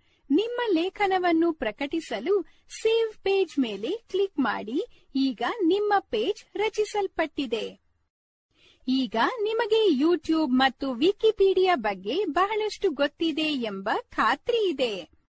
ಬನ್ನಿ, ಈಗ ಈ ಚಟುವಟಿಕೆಗಳಲ್ಲಿ ಭಾಗವಹಿಸೋಣ. ನೀವು ನಿಮ್ಮ ಸ್ನೇಹಿತರು ಮತ್ತು ಸಂಬಂಧಿಗಳೊಂದಿಗೆ ನಿಕಟ ಸಂಪರ್ಕದಲ್ಲಿರಲು ಹಲವಾರು ಮಾರ್ಗಗಳಿವೆ. ಇದು ವಾಟ್ಸ್ಆಪ್ ಮೂಲಕ ಸಾಧ್ಯವಾಗಿದೆ. ಅಕ್ಕ, ಈ ವಾಟ್ಸ್ಆಪ್ ಅಂದರೆ ಏನು? ವಾಟ್ಸ್ಆಪ್ ಜಾಹೀರಾತು ಮುಕ್ತ ಮೊಬೈಲ್ ಮೆಸೇಜಿಂಗ್ ಅಪ್ಲಿಕೇಶನ್ ಆಗಿದೆ ಮತ್ತು ಇದು ಬಳಕೆದಾರರ ನಡುವೆ ಲಿಖಿತ ಮತ್ತು ಮೀಡಿಯಾ ಸಂದೇಶವನ್ನು ಇಂಟರ್ನೆಟ್ ಡಾಟಾ ಪ್ಲಾನ್ ಅಥವಾ ವೈಫೈ ಮೂಲಕ ವಿನಿಮಯ ಮಾಡಿಕೊಳ್ಳಲು ಅನುಮತಿಸುತ್ತದೆ. ಬಳಕೆದಾರರು ಎಸ್ಎಂಎಸ್ಗಳಿಗೆ ಶುಲ್ಕ ಪಾವತಿಸಬೇಕಾಗಿಲ್ಲ. ಆದರೆ ಅಪ್ಲಿಕೇಶನ್ ಬಳಸುತ್ತಿರುವುದಕ್ಕಾಗಿ ಕಂಪನಿಯು ಒಂದು ಸಣ್ಣ ವಾರ್ಷಿಕ ಶುಲ್ಕ ವಿಧಿಸುತ್ತದೆ. ಈಗ ಸರ್ಚ್ ಬಾರ್ನಲ್ಲಿ ವಾಟ್ಸ್ಆಪ್ ಎಂದು ಟೈಪ್ ಮಾಡಿ. ಆಗ ಅಪ್ಲಿಕೇಶನ್ಗಳ ಪಟ್ಟಿ ತೆರೆದುಕೊಳ್ಳುತ್ತದೆ. ಸರಿಯಾದುದನ್ನು ಆಯ್ಕೆ ಮಾಡಿ, ಅದರ ಮೇಲೆ ಕ್ಲಿಕ್ ಮಾಡಿ. ಮೊದಲು ನಿಮ್ಮ ಟ್ಯಾಬ್ಲೆಟ್ ಅಥವಾ ಸ್ಮಾರ್ಟ್ಫೋನ್ನಲ್ಲಿರುವ ಮೆನು ಆಯ್ಕೆಗೆ ಹೋಗಿ. ಮೆನುವಿನಲ್ಲಿ ಪ್ಲೇ ಸ್ಟೋರ್ ಆಯ್ಕೆಯ ಮೇಲೆ ಟ್ಯಾಪ್ ಮಾಡಿ. ನ್ಯಾವಿಗೇಟ್ ಮಾಡುವ ಮೂಲಕ ಅಪ್ಲಿಕೇಶನ್ಗಳು, ಪುಸ್ತಕಗಳು, ಚಲನಚಿತ್ರಗಳು ಮತ್ತು ಆಟಗಳು ಸೇರಿದಂತೆ ಸ್ಕ್ರೀನ್ ಮೆನುವಿನಲ್ಲಿ ಅಪ್ಲಿಕೇಶನ್ಗಳು ಮತ್ತು ಕಂಟೆಂಟ್ ಅನ್ನು ಕಂಡುಹಿಡಿಯಬಹುದು. ಈಗ ಪ್ರದರ್ಶಿತವಾದ ಆಯ್ಕೆಗಳಲ್ಲಿ ಒಂದನ್ನು ಕ್ಲಿಕ್ ಮಾಡಿ. ಈಗ ಸರ್ಚ್ ಬಾರ್ನಲ್ಲಿ ವಾಟ್ಸ್ಆಪ್ ಎಂದು ಟೈಪ್ ಮಾಡಿ. ಆಗ ಅಪ್ಲಿಕೇಶನ್ಗಳ ಪಟ್ಟಿ ತೆರೆದುಕೊಳ್ಳುತ್ತದೆ. ಸರಿಯಾದುದನ್ನು ಆಯ್ಕೆ ಮಾಡಿ ಅದರ ಮೇಲೆ ಕ್ಲಿಕ್ ಮಾಡಿ. ಈಗ ನಿಮ್ಮ ಸ್ಮಾರ್ಟ್ಫೋನ್ ಅಥವಾ ಟ್ಯಾಬ್ಲೆಟ್ನಲ್ಲಿ ವಾಟ್ಸ್ಆಪ್ ಅನ್ನು ಇನ್ಸ್ಟಾಲ್ ಮಾಡಲು ಇನ್ಸ್ಟಾಲ್ ಬಟನ್ ಮೇಲೆ ಕ್ಲಿಕ್ ಮಾಡಿ. ಈಗ ವಾಟ್ಸ್ಆಪ್ ಅನ್ನು ತೆರೆಯಲು ಅದರ ಐಕಾನ್ ಮೇಲೆ ಕ್ಲಿಕ್ ಮಾಡಿ. ಈಗ ಪರಿಶೀಲನೆ ಉದ್ದೇಶಕ್ಕಾಗಿ ನಿಮ್ಮ ಫೋನ್ ನಂಬರ್ ನಮೂದಿಸುವಂತೆ ಕೇಳುತ್ತೇವೆ. ಅದನ್ನು ಎಂಟರ್ ಮಾಡಿ, ನಂತರ ಓಕೆ ಬಟನ್ ಅನ್ನು ಒತ್ತಿ.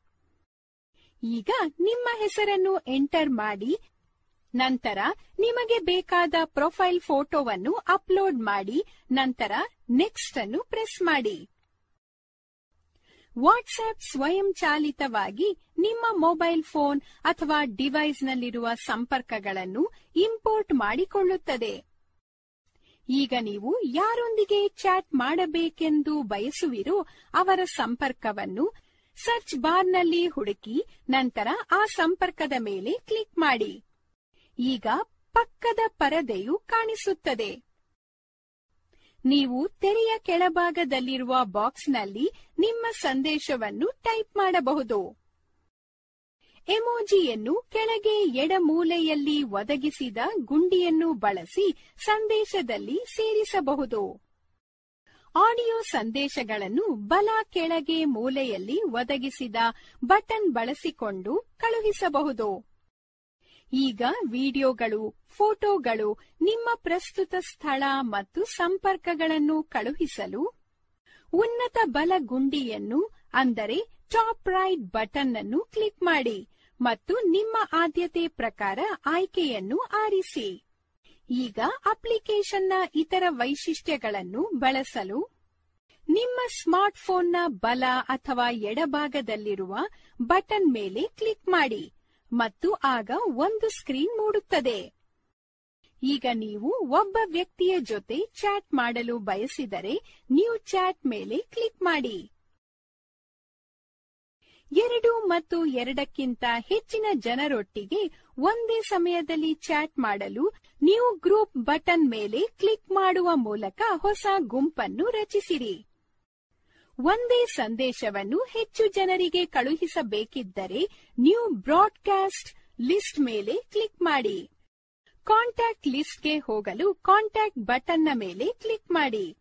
ನೀವು ನಿಮ್ಮ ಸ್ಟೇಟಸ್ ಅನ್ನು ಅಪ್ಡೇಟ್ ಮಾಡಬೇಕಿದ್ದರೆ ಸ್ಟೇಟಸ್ ಬಟನ್ ಮೇಲೆ ಕ್ಲಿಕ್ ಮಾಡಿ. ಪಕ್ಕದ ಸ್ಕ್ರೀನ್ ಕಾಣಿಸುತ್ತದೆ. ನೀವು ಅಲ್ಲೇ ಕೊಟ್ಟಿರುವ ಅಥವಾ ನಿಮ್ಮದೇ ಸ್ವಂತ ಸ್ಟೇಟಸ್ ಅನ್ನು ಆಯ್ಕೆ ಮಾಡಬಹುದು. ನೀವು ನಿಮ್ಮ ಸೆಟ್ಟಿಂಗ್ ಅನ್ನು ಬದಲಾಯಿಸಬೇಕಿದ್ದರೆ ಸೆಟ್ಟಿಂಗ್ಸ್ ಮೇಲೆ ಕ್ಲಿಕ್ ಮಾಡಿ, ಆಗ ಪಕ್ಕದಲ್ಲಿ ಸ್ಕ್ರೀನ್ ಕಾಣಿಸುತ್ತದೆ. ಹೆಚ್ಚಿನ ಮಾಹಿತಿಯನ್ನು ಪಡೆಯಲು ಹೆಲ್ಪ್ ಬಟನ್ ಅನ್ನು ಕ್ಲಿಕ್ ಮಾಡಿ. ನಿಮ್ಮ ಹೆಸರು ಮತ್ತು ಪ್ರೊಫೈಲ್ ಹೆಸರನ್ನು ಬದಲಾಯಿಸಲು ಪ್ರೊಫೈಲ್ ಬಟನ್ ಮೇಲೆ ಕ್ಲಿಕ್ ಮಾಡಿ. ಪ್ರೈವಸಿ ಸೆಟ್ಟಿಂಗ್ ಬದಲಾಯಿಸಲು, ಪೇಮೆಂಟ್ ಮಾಡಲು ಮತ್ತು ನಿಮ್ಮ ನಂಬರ್ ಅನ್ನು ಬದಲಾಯಿಸಲು, ಅಕೌಂಟ್ ಡಿಲೀಟ್ ಮಾಡಲು ಮತ್ತು ನೆಟ್ವರ್ಕ್ ಬಳಕೆಯನ್ನು ತಿಳಿಯಲು ಅಕೌಂಟ್ ಬಟನ್ ಮೇಲೆ ಕ್ಲಿಕ್ ಮಾಡಿ. ಚಾಟಿಂಗ್ ನೋಟಿಫಿಕೇಶನ್ಸ್ ಕಾಂಟ್ಯಾಕ್ಟ್ಸ್ಗೆ ಸಂಬಂಧಿಸಿದ ಬದಲಾವಣೆಗಳನ್ನು ಮಾಡಲು ಕ್ಲಿಕ್ ಮಾಡಿ. ಚಾಟ್ ಸೆಟ್ಟಿಂಗ್ಸ್ ನೋಟಿಫಿಕೇಶನ್ಸ್ ಮತ್ತು ಕಾಂಟ್ಯಾಕ್ಟ್ ಈಗ ಸ್ವತಃ ನೀವೇ ವಾಟ್ಸ್ಆಪ್ ಬಳಸುವುದನ್ನು ನೋಡೋಣ. ಖಂಡಿತ. ಹಂತ ಒಂದು. ನಿಮ್ಮ ಫೋನ್ ಅಥವಾ ಟ್ಯಾಬ್ಲೆಟ್ನಲ್ಲಿ ವಾಟ್ಸ್ಆಪ್ ಐಕಾನ್ನ ಮೇಲೆ ಕ್ಲಿಕ್ ಮಾಡಿ. ಆಗ ಅದು ವಾಟ್ಸ್ಆಪ್ನಲ್ಲಿರುವ ನಿಮ್ಮ ಸ್ನೇಹಿತರ ಪಟ್ಟಿಯನ್ನು ತೋರಿಸುತ್ತದೆ. ಹಂತ ಎರಡು. ನೀವು ಚಾಟ್ ಮಾಡಬಯಸುವ ಹೆಸರಿನ ಮೇಲೆ ಕ್ಲಿಕ್ ಮಾಡಿ. ಆಗ ಒಂದು ಮೆಸೇಜಿಂಗ್ ವಿಂಡೋ ತೆರೆದುಕೊಳ್ಳುತ್ತದೆ. ಹಂತ ಮೂರು. ನಿಮ್ಮ ಮೆಸೇಜ್ ಅನ್ನು ಟೈಪ್ ಮಾಡಿದ ನಂತರ ಸೆಂಡ್ ಮೇಲೆ ಕ್ಲಿಕ್ ಮಾಡಿ. ಹಂತ ನಾಲ್ಕು. ವಿಡಿಯೋ ಅಥವಾ ಫೋಟೋ ಕಳುಹಿಸಲು ಚಾಟ್ ಸ್ಕ್ರೀನ್ ಮೇಲೆ ಇರುವ ಅಟ್ಯಾಚ್ ಐಕಾನ್ನ ಮೇಲೆ ಕ್ಲಿಕ್ ಮಾಡಿ. ಹಂತ ಐದು. ಗ್ಯಾಲರಿ ಬಾಕ್ಸ್ ತೆರೆದುಕೊಳ್ಳುತ್ತದೆ. ಈಗ ನೀವು ಕಳುಹಿಸಬೇಕಾದ ಫೋಟೋ ಅಥವಾ ವಿಡಿಯೋವನ್ನು ಆಯ್ಕೆ ಮಾಡಿ. ಆಗ ಅದು ಸ್ವಯಂ ಚಾಲಿತವಾಗಿ ಫೈಲ್ ಅನ್ನು ಕಳುಹಿಸಲು ಆರಂಭಿಸುತ್ತದೆ. ಆದ್ದರಿಂದ ರೋಹನ್ ಸಂವಹನ ಮಾಡಲು ಸೋಷಿಯಲ್ ನೆಟ್ವರ್ಕಿಂಗ್ ಅನ್ನು ಬಳಸುವುದು ಎಷ್ಟು ಸುಲಭವೆಂದು ನೀವು ನೋಡಬಹುದು. ಆದರೆ ಈ ತಾಣಗಳ ದುರ್ಬಳಕೆಯಿಂದ ಕೆಲವು ಕಾನೂನು ಸಮಸ್ಯೆಗಳು ಹುಟ್ಟಿಕೊಂಡಿವೆ.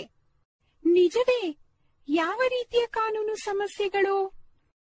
ಸಾಮಾಜಿಕ ನೆಟ್ವರ್ಕಿಂಗ್ಗೆ ಸಂಬಂಧಿಸಿದ ಕಾನೂನು ಸಮಸ್ಯೆಗಳಾದ ಆನ್ಲೈನ್ ಕ್ರಿಯೆಗಳು ಅಥವಾ ಲೋಪಗಳ ಪರಿಣಾಮವಾಗಿ ಅಪರಾಧಿ ಬಾಧ್ಯತೆಗಳನ್ನು ಉದ್ಭವಿಸುತ್ತವೆ. ಸಾಮಾಜಿಕ ನೆಟ್ವರ್ಕಿಂಗ್ ಮಾಧ್ಯಮದ ಭಾರತದ ಮಾಹಿತಿ ತಂತ್ರಜ್ಞಾನ ಕಾಯ್ದೆಯ ಎರಡು ಸಾವಿರ, ಅಂದರೆ ಎರಡು ಸಾವಿರದ ಐಟಿ ಕಾಯ್ದೆಯ ಅರ್ಥದಲ್ಲಿ ಒಂದು ಮಧ್ಯವರ್ತಿ ಆಗಿದೆ. ಹೀಗಾಗಿ ಸಾಮಾಜಿಕ ಜಾಲತಾಣಗಳು, ವಿವಿಧ ಕ್ರಿಯೆಗಳು ಅಥವಾ ಲೋಪಗಳು, ಕಾನೂನುಗಳ ಅಡಿಯಲ್ಲಿ ಶಿಕ್ಷಾರ್ಹ ಎಂದು ಅಪರಾಧವಾಗಿದೆ. ಉದಾಹರಣೆಗೆ, ಸಾಮಾಜಿಕ ಜಾಲತಾಣಗಳು ಆನ್ಲೈನ್ ಭಾರತದಲ್ಲಿ ಕಾಪಿರೈಟ್ ಉಲ್ಲಂಘನೆ ಸೇರಿದಂತೆ ಆನ್ಲೈನ್ ಐಪಿಆರ್ಎಸ್ ಉಲ್ಲಂಘನೆಗಳಿಗೆ ಜವಾಬ್ದಾರವಾಗಿವೆ.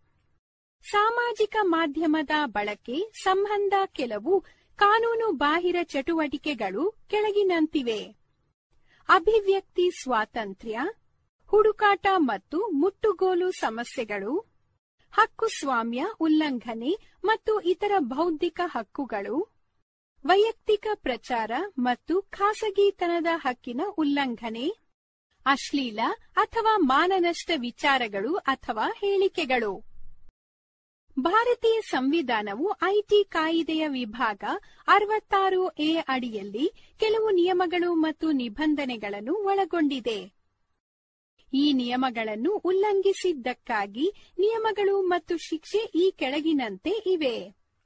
ಕಂಪ್ಯೂಟರ್ ಸಂಪನ್ಮೂಲ ಅಥವಾ ಸಂವಹನ ಸಾಧನಗಳ ಮೂಲಕ ಕಳುಹಿಸುವ ಯಾವುದೇ ವ್ಯಕ್ತಿ ತೀರಾ ಆಕ್ರಮಣಕಾರಿ ಅಥವಾ ಭೀತಿಯ ಪದಗಳನ್ನು ಹೊಂದಿರುವ ಯಾವುದೇ ಮಾಹಿತಿ?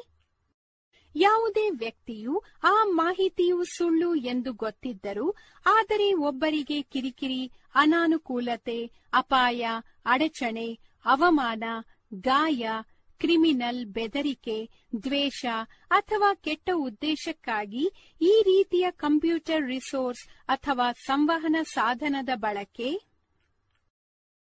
ಯಾವುದೇ ಎಲೆಕ್ಟ್ರಾನಿಕ್ ಮೇಲ್ ಅಥವಾ ಎಲೆಕ್ಟ್ರಾನಿಕ್ ಮೇಲ್ ಸಂದೇಶವನ್ನು, ವಿಳಾಸದಾರ ಅಥವಾ ಸಂದೇಶಗಳನ್ನು ಸ್ವೀಕರಿಸುವವರನ್ನು ಮೋಸಗೊಳಿಸಲು, ತಪ್ಪು ತಿಳುವಳಿಕೆ ಮೂಡಿಸಲು ಅಥವಾ ಕಿರಿಕಿರಿ ಮಾಡುವ ಉದ್ದೇಶದಿಂದ ಕಳುಹಿಸಿದವರಿಗೆ ಮೂರು ವರ್ಷಗಳ ಅವಧಿಯ ಜೈಲು ಶಿಕ್ಷೆಯೊಂದಿಗೆ ದಂಡವನ್ನು ವಿಧಿಸಲಾಗುತ್ತದೆ.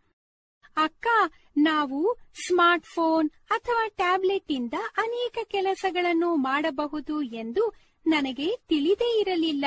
ಇದು ಉತ್ತೇಜನಕಾರಿಯಾಗಿದೆ. ಹೌದು ರೋಹನ್, ಇಲ್ಲಿಯವರೆಗೆ ನೀವು ಮೆಸೇಜಿಂಗ್ ಸೇವೆಗಳ ಬಗ್ಗೆ ಬಹಳಷ್ಟು ಕಲಿತಿದ್ದೀರಾ. ಈಗ ಈ ಚಟುವಟಿಕೆಯಲ್ಲಿ ಭಾಗವಹಿಸೋಣ.